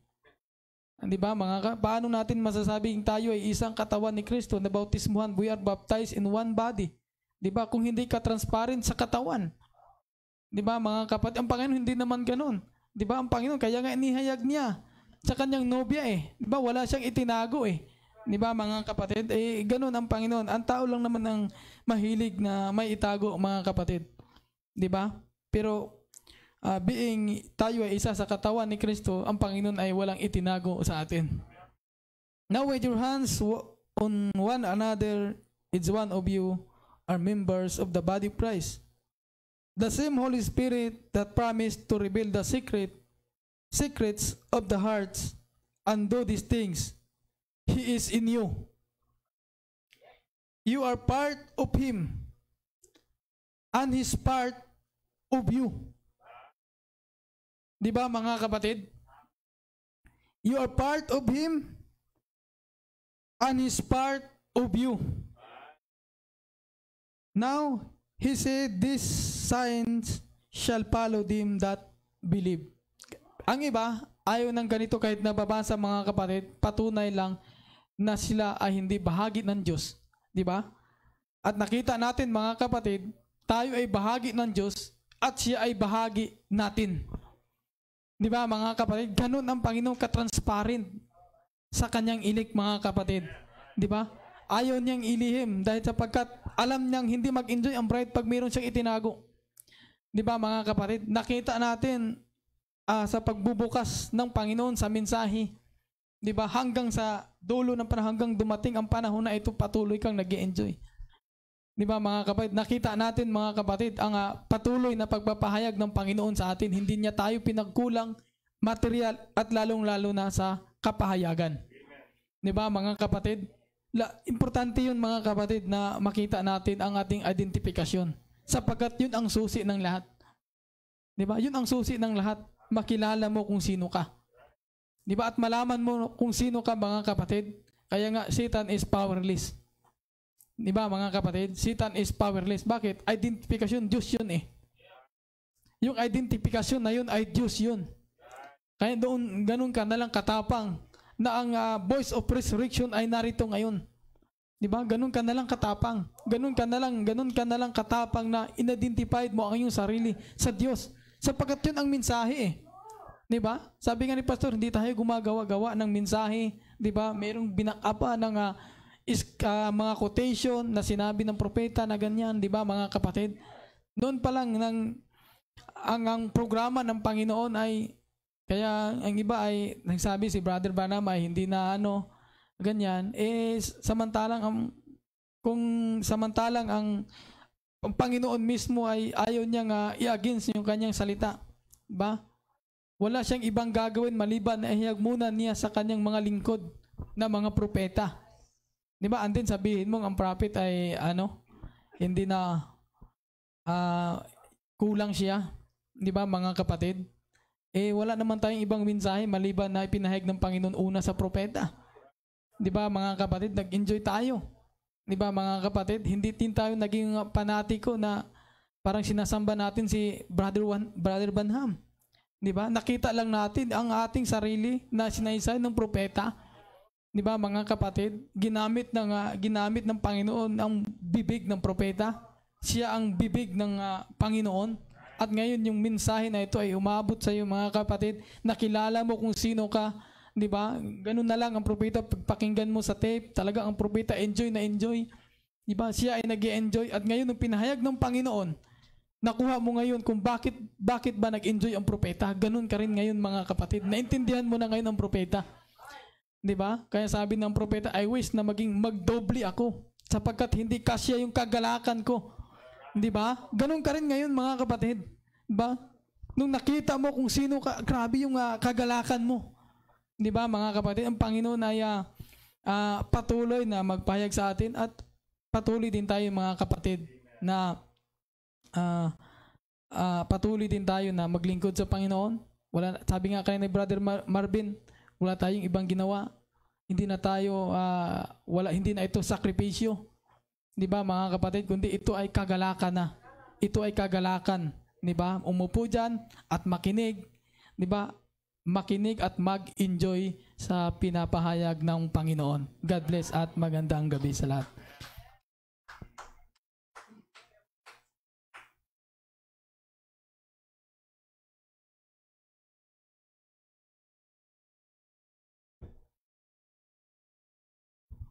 Amen. Praise the Lord. Uh, salamat sa Panginoon sa message niya patuloy sa atin. Uh, pinagkakaloob niya. Uh, o ay uh, namamangha sa Panginoon sapagkat uh, sa tuwing babalikan natin yung sa totoo lang ano, yung pinaka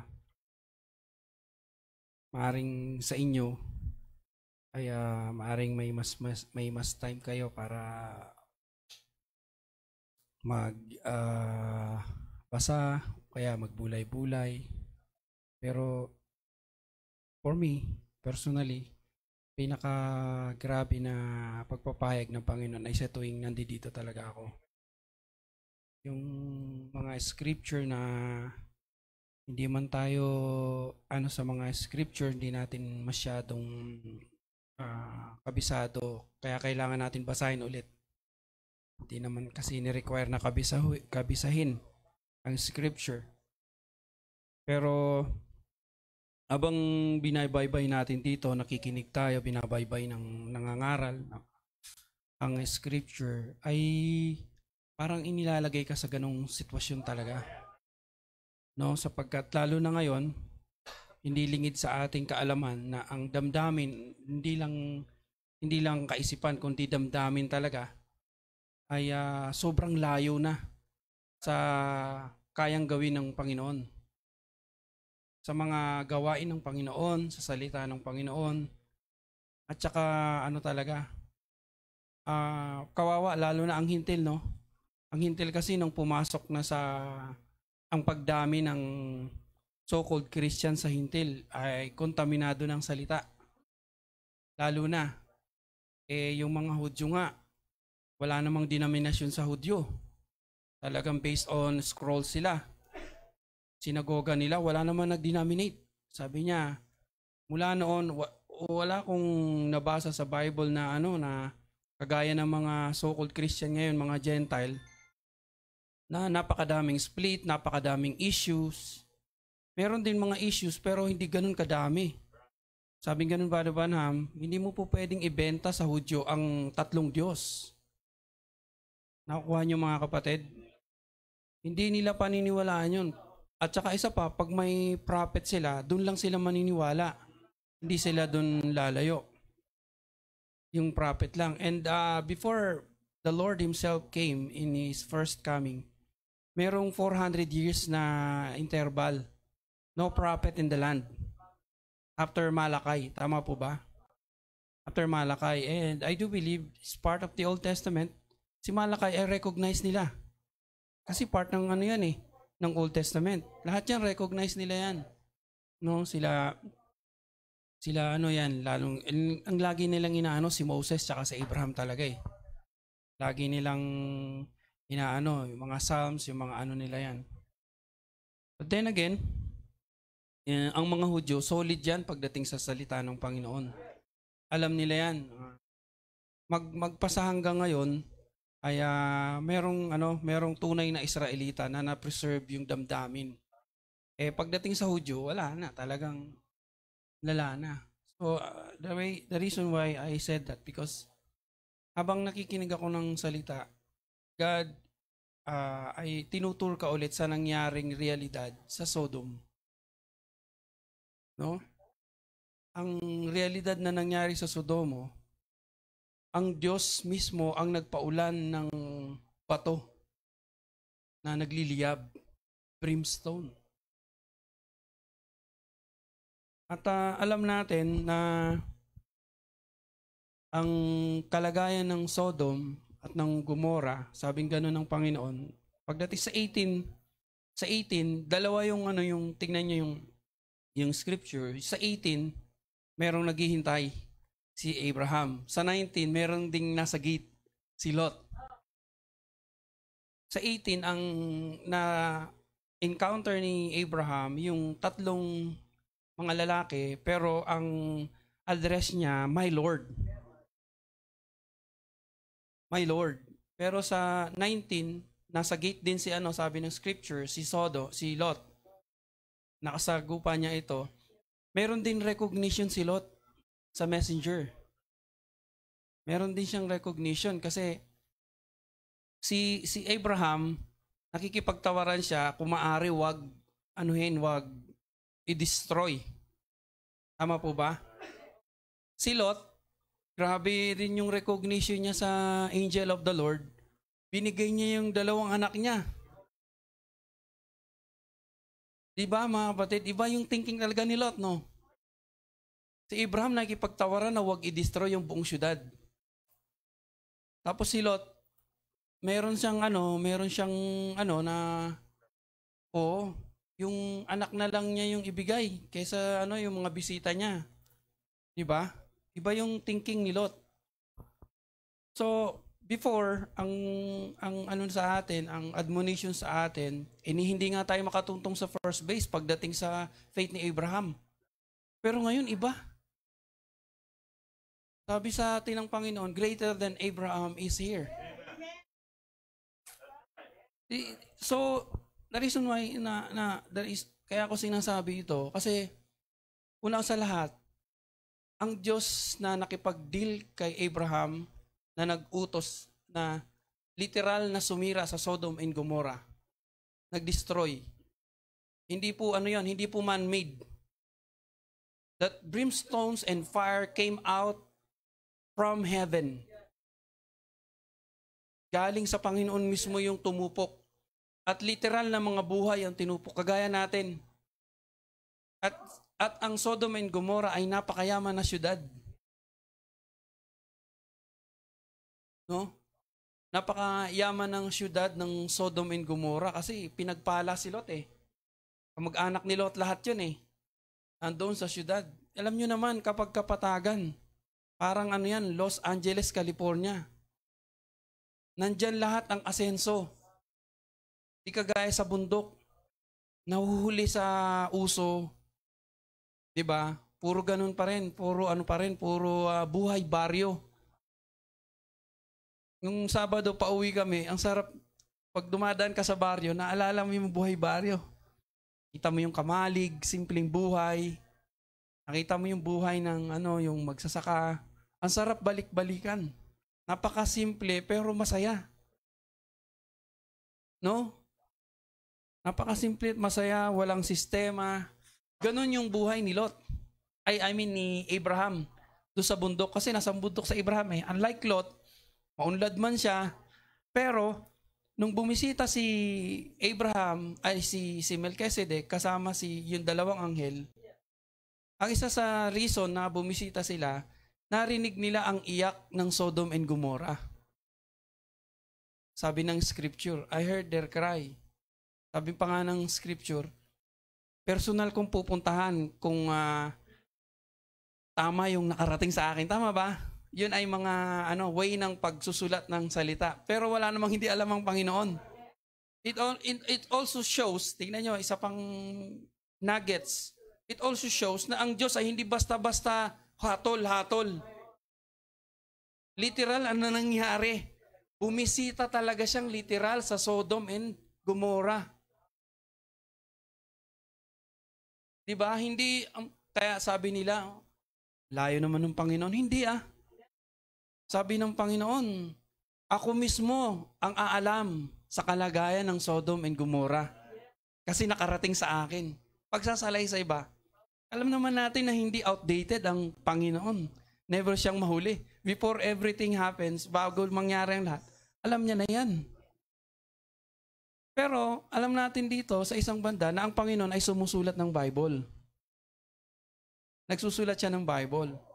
At si Abraham, siya ay uh, itinatayo niya bilang ama ng pananampalataya na isang pagpapala ng Panginoon sa atin na hindi mo masayod-sayod.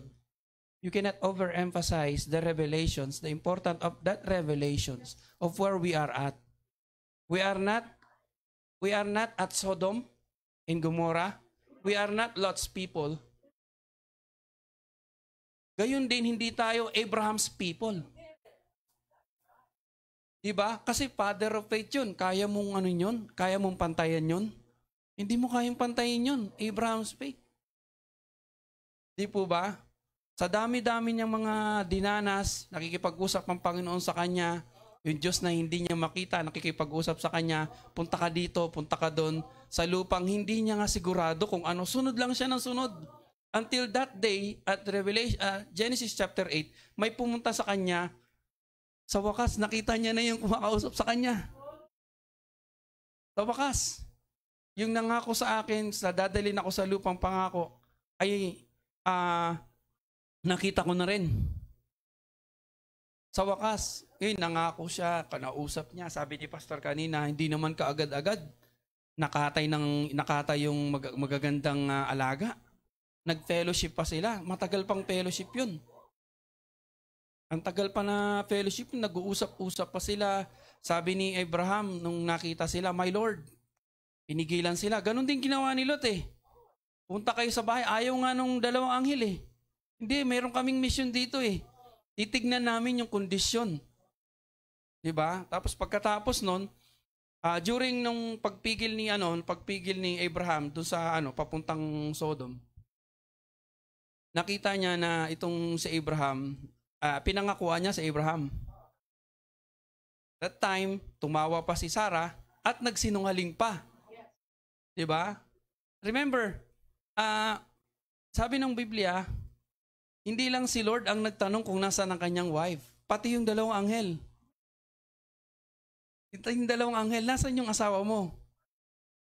Di ba? Basahin niyo yung Bible. They ask Abraham, where is thy wife? Kasi si Abraham tsaka yung mga servants ang nakitang active na magsiserve sa kanila eh. Yung wife niya may ginagawa behind the tent. Di ba? Behind the tent. So, malit lang naman ang pagitan. Kasi na, oo. Kaya dapat alisin yun. No, yung tent. Para hindi, para tugma yung revelation. Hindi carnal. Kaya si Abraham, wala siyang ano eh, direkta siya eh. Eh si Sarah, behind the tent. Tumawa siya. Sa tan Oo, delikado. Buti na lang nandyan si Abraham, pastor. Kung hindi, patay siya, sabi ng prophet.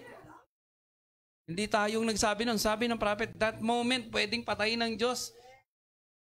Tumawa na, nagsinungaling pa. Remember, ang Panginoon, on the way to destroy Sodom and Gomorrah, nagsasalita siya. Tapos tatawanan pa siya ng wife ni Abraham. Alam ba nito yung mission namin? Kami ay gugunaw ng syudad. Tatawan-tawanan kami nito. Buti na lang asawa mo siya. Buti na lang asawa mo siya. Hindi biro yung aming sinasaysay. Pangalawa, ah, ah, meron pa akong pangako sa iyo na magda... Kasi ang pagkapili ko sa iyo, magiging ama ka ng isang dakilang bayan. Hindi pwede nang bawiin yan. Kaya sabi ng Panginoon, mayroon bang mahirap sa Diyos? Bakit natawa siya? Ay hindi naman po, aba nagsinungaling pa. Nabuking na nga, nagsinungaling pa. What kind of spirit behind the veil? Delikado talaga. Pag behind the veil yung nakikinig. Kaya kailangan personal na meet mo ang Panginoon. Salamat na lang may Abraham. Di ba? Pero salamat na lang, higit kay Abraham ay naririto. Di po ba, mga kapatid? Think about what happened really. Walang natira, bata, matanda, sa Sodom and Gomorrah. Sa Genesis chapter 18, inaarbor ng mga tao na nagpunta kay Lot, yung dalawang messenger. Inaarbor sila. Hindi, hindi pwede. Pwede na lang, yung dalawang anak ko na lang. Tapos sinablot si, si Lot. Buti na lang, siyempre, mga, ma, ano, mga archangel yun na kasama niya sa loob. Kinuha siya. Tama ba yung eksena? Kinuha siya tapos in-strike sila ng blindness. Literal blindness. Wala, hindi sila makakilos, literal blindness. Tapos sinabihan pa ni, ni, ni nung dalawang anghel, Sino ba yung kasama mo dito sa loob? Dito yung mga ano ko, manugang ko. Tama ba? Andiyan yung manugang ko. Okay, sa ano to, sa sa ano to ni Lot, ano? Sa bahay to ni Lot. So wala na tayo sa ano, kahit kay Abraham ma, wala tayo eh. Kasi nandun tayo kay Melchizedek eh. Tingnan natin yung realidad ng mga ng mga ano ng mga kategorya. Yung totoong mangyayari dito sa mundo. Right? Tingnan natin, yung totoo talaga ang nangyayari. Pasa, at makikita mo pa sa salamatan mong Panginoon kung saan kanya nilagay. Sa tindi ng galit ng Panginoon dito sa mundo, kala nila ganun lang Panginoon. Ano? Sabi ganun ni Pastor kanina, ang na-highlight na kasi yung Diablo, kaya ang Panginoon galit na. Ang Panginoon ba ay magalit? Akala ko ba ay Diyos siya ng pag-ibig? Totoo, siya ay Diyos ng pag-ibig at siya din ay may holy wrath. At pag may galit ng Panginoon, talagang makatwiran. Makatwiran talaga siya. Wala siyang itinara kahit sanggol sa Sodom and Gomorrah. Wala talaga. Kasi nandun na yung anghel eh. Sabi ng anghel, meron ka bang ano dyan? Kamag-anak dyan. Eh meron ganito. Eh ang ginawa ng mga kamag-anak niya, yung mga asawa ng ibang anak niya, imbes na maniwala, pinagtawanan pa siya. Eh yung dalaga lang nakasama at saka yung misis niya. Eh ano, siyempre, anong mangyayari sa mga ano niya, manugang niya? Patay. Eh, misis niya nga, eh, ang, ang, ang dami ng pawis na nasayang paglalakbay, palabas ng syudad. Lumingon pa eh. Sabi ng anghel, huwag kayong lilingon. Doon kayo, takas kayo papunta sa bundok.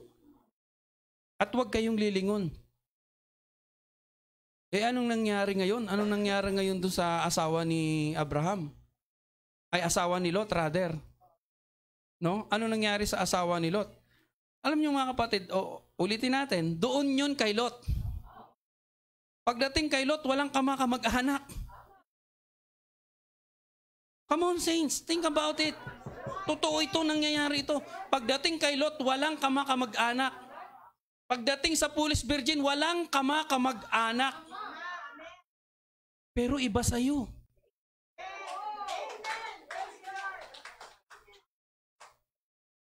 Si Abraham nakikipagtawaran. Ikaw hindi mo kailangan makipagtawaran kasi ikaw si Melchizedek na hinihingi ng tawad. Hinihinga ng tawad. Mabigat, mabigat. Kaya nga ang title natin ay tumpak. Meron ba akong ililihim sa kanya na aking gagawin? I-bride niya yung kaharap eh. Pagka may inilihim ang Panginoon, which is hindi niya kayang gawin, Baka ma-stuck yung bride kay Lot thinking. Baka ma-stuck yung bride sa Abraham's thinking. Di ba mga kapatid? Eh hindi naman tayo Abraham's race.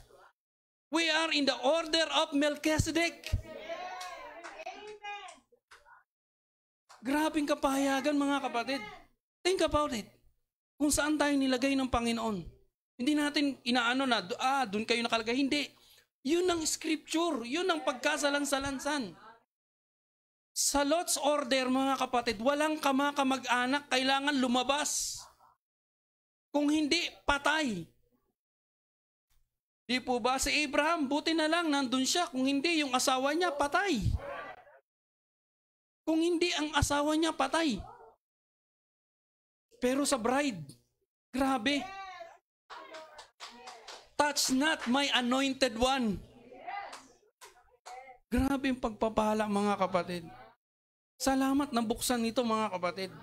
Ito yung kapahayagan na konklusyon ng title natin. Meron ba akong ililihim sa kanya? Walang nalihim. Inilagay ka sa bracket of faith na ganun mga kapatid. Nang habang si Abraham ay nakikipagtawaran kay Melchizedek, nandun ka kay Melchizedek. Kaya walang natago. Oh, we're blessed. We're so much. We're so blessed. Na ganun nasa ganung kalagayang mga kapatid. No plainer. Hindi na kayang pasimplihin pa. Yun na yun. Yun na yung laman ng kapahayagan mga kapatid. Di ba parang ganito? Tingnan nyo pa yung isang angulo sa scripture sa 18. Di ba? Pagkatapos nila makipag-commune, ipinangako ng Panginoon na sa pagdating ng oras, dadalawin niya si Abraham at sila ay magkakaanak. Matapos nun, tumawa si Sarah, nagsinungaling si Sarah, pero hindi yun pinansin ng Panginoon for Abraham's sake. Naintindihan niya may veil. Right? Pero salamat na lang, nahapak na yung veil. At na-unveil na yung God which is male and female. So ang communion nila, hindi yung isa nasa labas, hindi isa nasa veil. Parehas na silang exposed ngayon. The perfection of the Son of Man. Amen, mga kapatid. Sabi niya, mga kapatid, bago niya banggitin yan, meron ba akong ililihim sa lingkod nating propeta? Like in Genesis 1, it says, let us. Tingnan niyo mga kapatid. Remember, gusto kong balikan yung Genesis 18, no? Konti lang. Sa 17 yung binanggit, di po ba?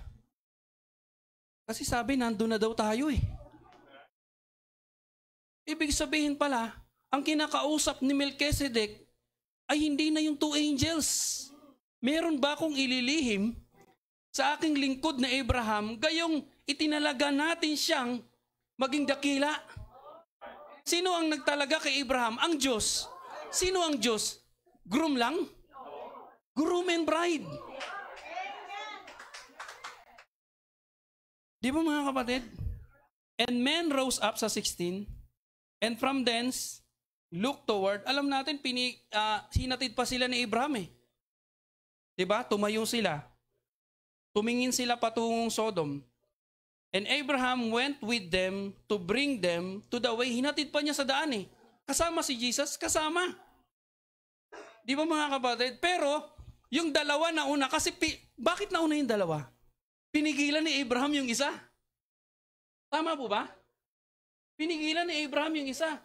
Meron siyang tinanong kasi sabing gano'n ni Pastor kanina, during the fellowship nila, merong message na naibibigay itong Panginoon na gagawin niya sa Sodom. Eh, nandun yung pamangkin niya eh. Siyempre, siya, ganun lang siya. Yari si Lot. Yari si Lot hindi naman kailangan na ano, hindi na kailangan pa alam ni Abraham kung anong nangyayari sa bayan ni Lot. Nakakarating sa kanya. Kamag-anak niya yan eh. Kaya lang wala siya magawa. Sabi ng Panginoon, separate yourself. Bakit? Doon pa lang sa reason kung bakit siya sineparate. Bakit? May mga o nag-aalsa na ng ano, nag-aangkina na sila. Eh si Lot, wala namang pakialam sa angkinan. Saan nagmula yung angkinan? Doon sa kanilang mga nasasakupan. Nagkakatrouble na. Saan galing? Siyempre, to begin with, galing kay Lot yung trouble.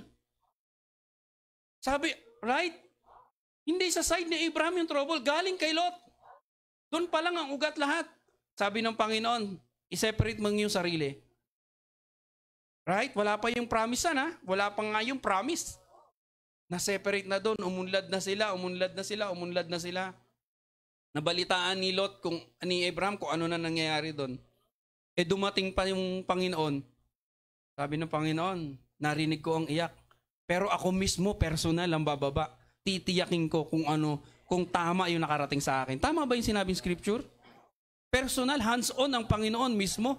Sasabihin nila, oh, wala naman pang, eh, mga preacher lang, hindi, hindi naman nila alam yung nangyayari uh, sa basement eh. Kasi sa simbahan lang sila lagi eh. Hindi nila alam nangyayari sa basement. Sino nagsabi sa'yo? Walang hindi alam ang Diyos. Hands-on ang Diyos. Kaya Lot, pasensya ka Lot. Di-destroy ka na, malapit na. Luke 17. As it was in the days of Lot. Di ba? Nandito na yung panahon ni Lot? Nandito na. Sodom? Nandito na. Nandito na rin ba yung son man? Nandito na rin. Hands-on na rin.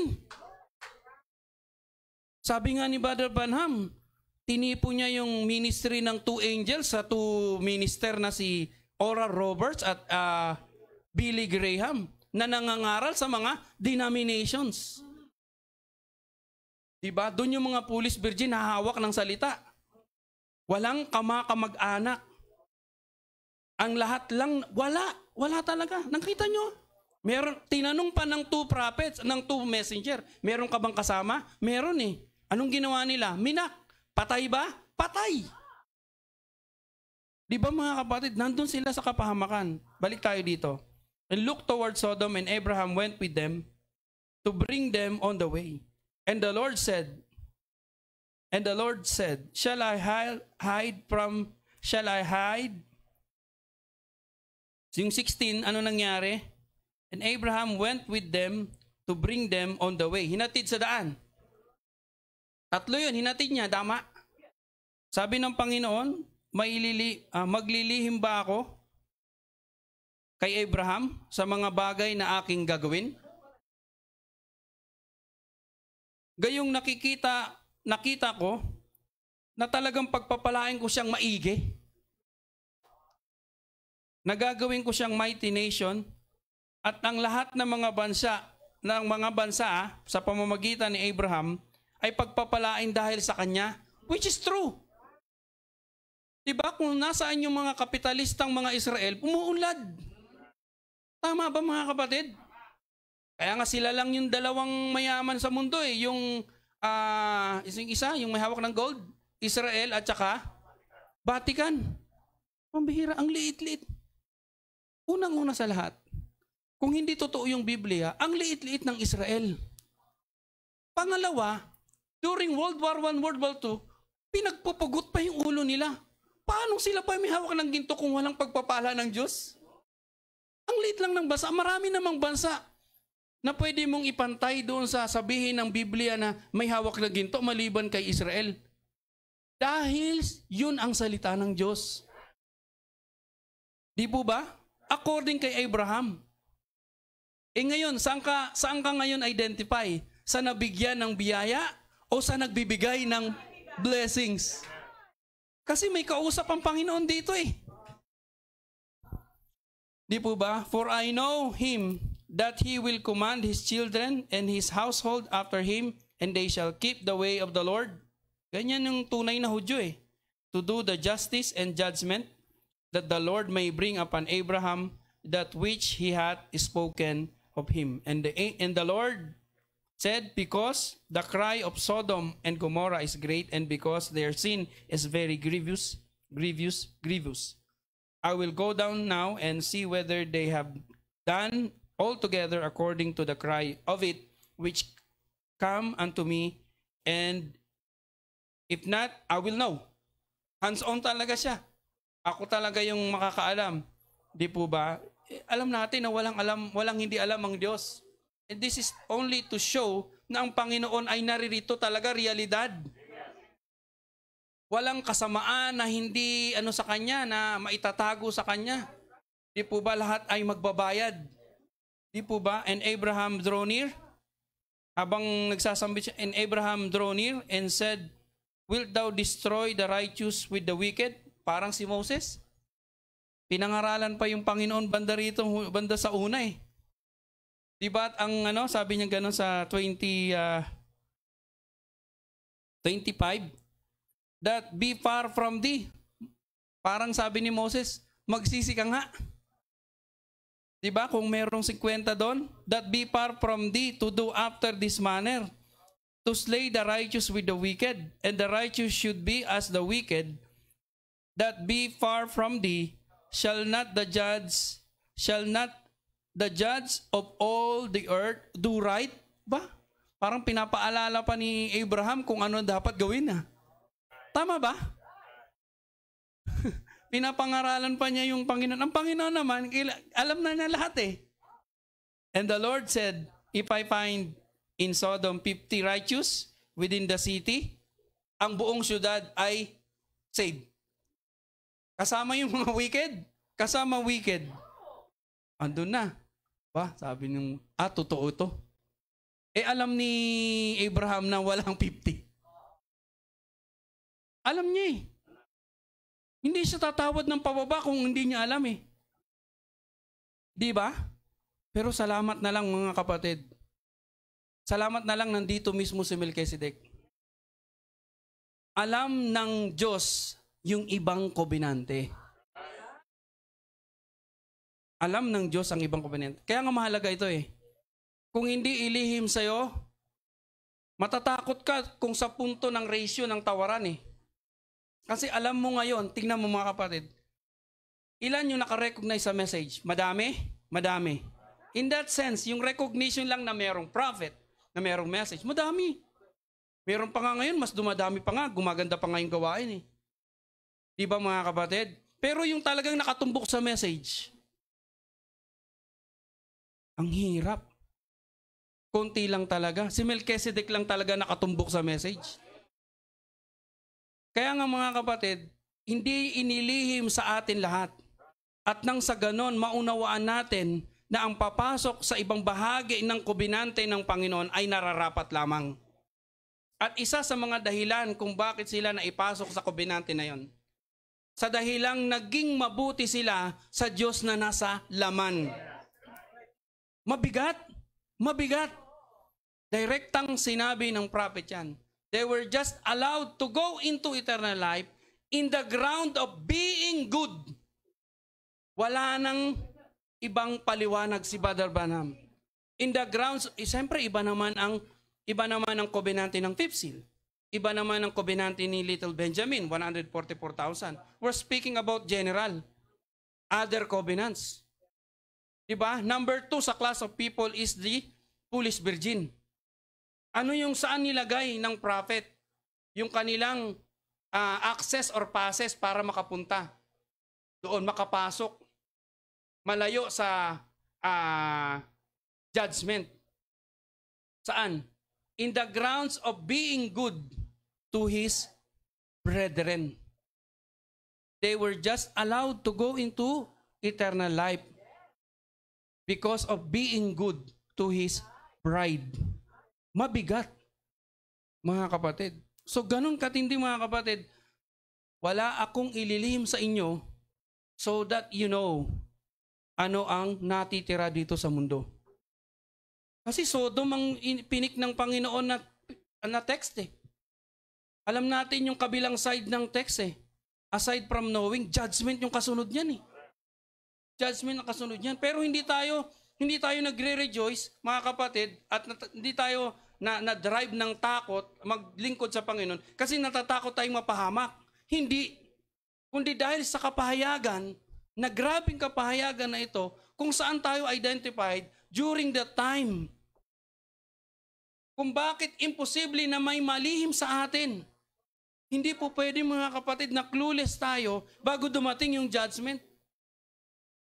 Di po ba? Hindi tayo makikipagtawaran. Hindi tayo makikipag ano, sabi gano'n ng prophet, sa ang ang kobenante natin mga kapatid is unconditional. All that you love and ever loved you will be with you. Iba 'yun, hindi hindi kagaya ng kondisyon sa sa pana, sa siyudad ni Lot, sa pamilya ni Lot, hindi ganoon ang kondisyon sa atin. Are you blessed saints? Itong scripture na to mga kapatid, even in this message, ginagamit ito para takutin yung mga nakikinig. Kita nyo si yung asawa ni Lot? Kita niyo asawa ni Lot, naging, naging haliging apoy? Asin pala, rather. Yun ang gusto kong sabihin eh. Apoy yung lumabas. Naging haliging asin. Ito takot naman yung asawa na ngayon ng ano, ng isang ama na ng palataya. Una, sabi ng preacher oh, yung asawa niya, lingon ng lingon sa mga amiga niya. Naging haliging asin. Ayoko nga maging haliging asin with that clear understand with, with that under with that kind of understanding kapos. Bakit wala ka sa poder ni Lot? Ikaw ay na kay Melchizedek. Noon ngayon si Melchizedek ay nasa iyo. Di ba anong meron si Melchizedek? Kaya niyang magpasok unconditionally. How much more love mo? Hindi mo ipasok. We're so blessed yun yung title mga kapatid. Meron ba akong ililihim sa kanya? Eh sa bride pa? Kay Abraham nga wala eh, sa bride pa. Eh nung kinakausap ko sa Abraham, kasama ko kayo. God bless.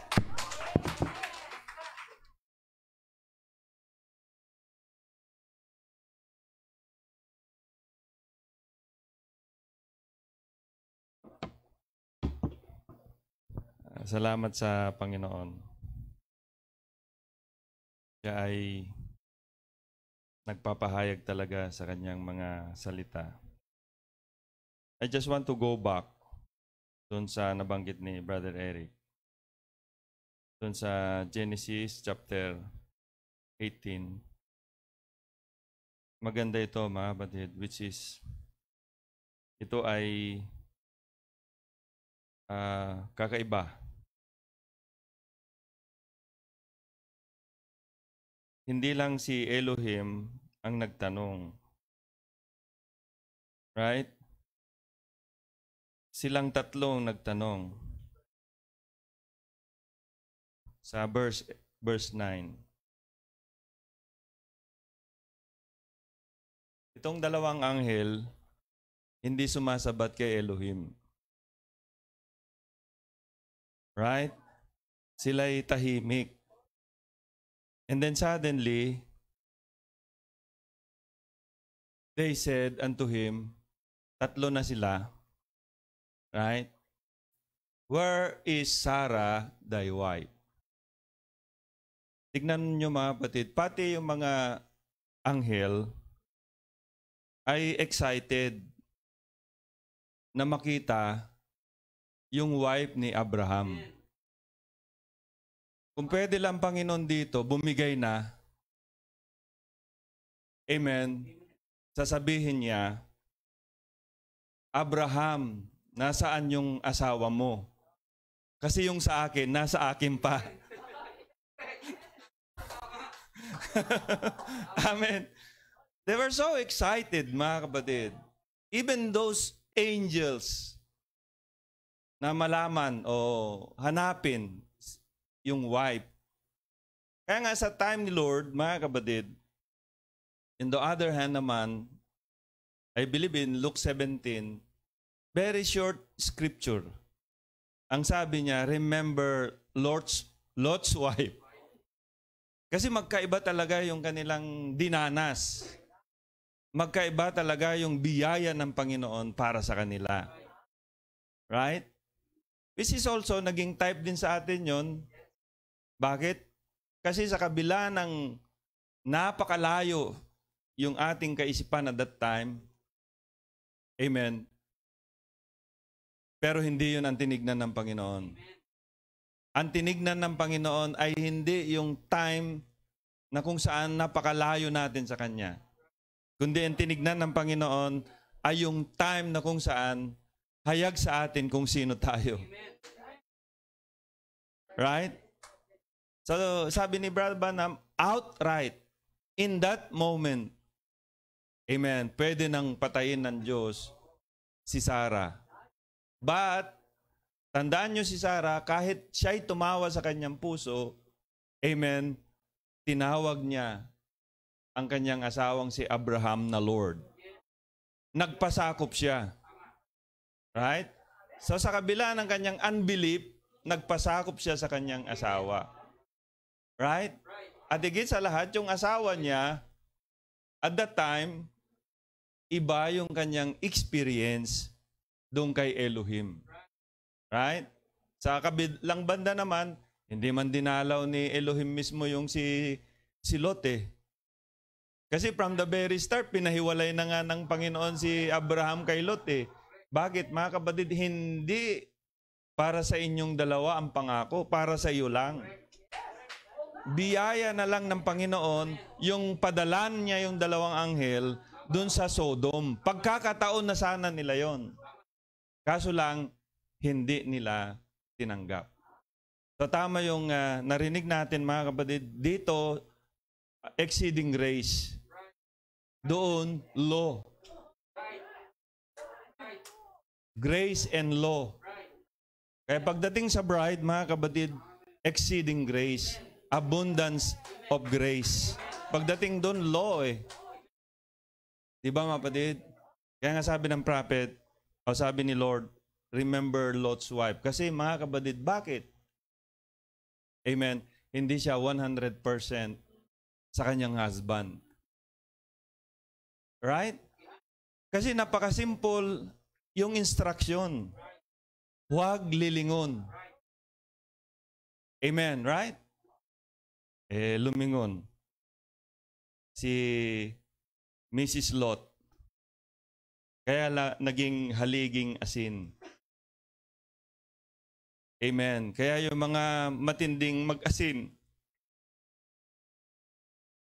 bato ang abutin nyo. What the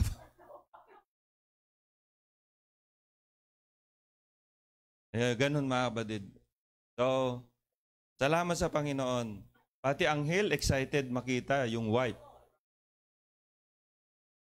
Kaya nga sila namangha, yung mga anghel ay huminto sa pag-awit, huminto sa pagkanta, huminto sa pagtugtog, nagkaroon ng uh, half-hour silence kasi sila man din ay namangha nung uh, lumabas na si Mrs. Jesus Christ. Amen? So yung mga anghel talaga, amen, ay excited din. So salamat sa Panginoon. No? Kakaiba, di ba mga batid? Sabay-sabay pa silang naghanap ng wife eh. Right? So dama din nila marahil, amen, na si Melchizedek ay my wife. Right? And then uh, the prophet said, Who is this Melchizedek? In this day, Melchizedek is God. Amen. And he is here right now to bring forth all those promises. Body change, body change nandyan na. Amen. Change name, change name nandyan. From Abram to Abraham, from Sarai to Sarah. Tuloy-tuloy na hanggang body change. So it's a complete uh, uh, promise, complete fulfillment ng uh, pangako ng Panginoon sa kanila. So salamat sa ating Panginoon. Uh, the Bible really become a new Bible. Amen. Naging bagong Biblia. So salamat sa Panginoon ngayong hapon. So announcement po natin uh, itong linggo. Of course, uh, we are looking forward to uh, what the Lord have been uh, prepared for us this coming uh, days. So, Sunday, Brother June nandito. And then hapon, kasi tanghali, uwi na sila eh. So, kahit wala tayong uh, service ng hapon, uh, we will try to no, to uh, make a way na ma ano, ma live streaming yung service para ma marinig din niyo yung uh, ano yung uh, uh, ano preaching doon. So yung midweek natin, hindi naman tayo traditional kung uh, wala tayong midweek, so be it. Doesn't matter. Pwede natin balikan yung mga live streaming. And then we will try na talagang uh, ma-live stream. So, sa Nueva Ecija, all settled na rin. No? So, Brother Larry will be the MC and uh, Brother Lito and uh, Brother Eli will be the preachers. So, uh, salamat sa Panginoon at uh, uh, it's my prayer na sila ay uh, ma maano talaga tumayo din sa gawain. So sama natin sa prayer si Brother Danny humingi ng prayer at ganun din Thanksgiving inalis na yung oxygen. Uh, uh, nag ano na yung kanyang paghinga, lumuwag na. So Sister Emily naman ay nasa hospital din ngayon sa operation. Uh, inoperahan siya ng bato sa bato. Tama ba yun? Oh, hindi. Bato sa abdo. Oh, bato sa abdo. Gallstone. So, kasama rin sa prayer yung asawa ni no, Brother Nito and then yung manugang. So, yung dalawang anak niya nasa recovery stage na. Okay na sis? Oh, going better. So tayo po lahat ay tumayo. Mawit tayo ng uh, isang awit sa Panginoon.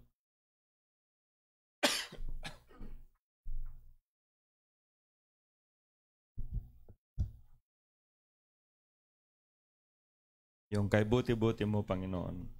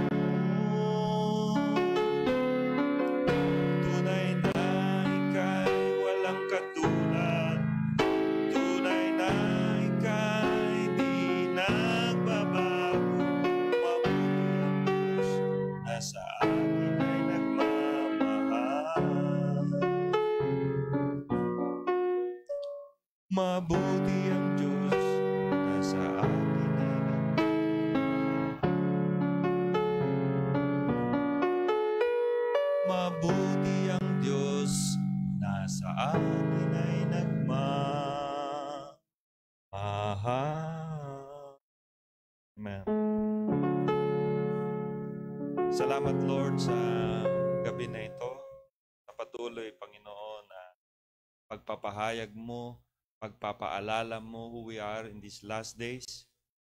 Na ito, Lord, ang uh, tunay na nagbibigay sa amin ng kagalakan sa aming mga puso.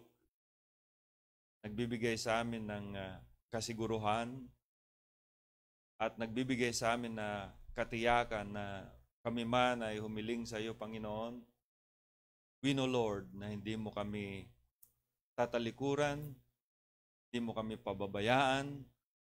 As what your prophet have said, you will honor our word.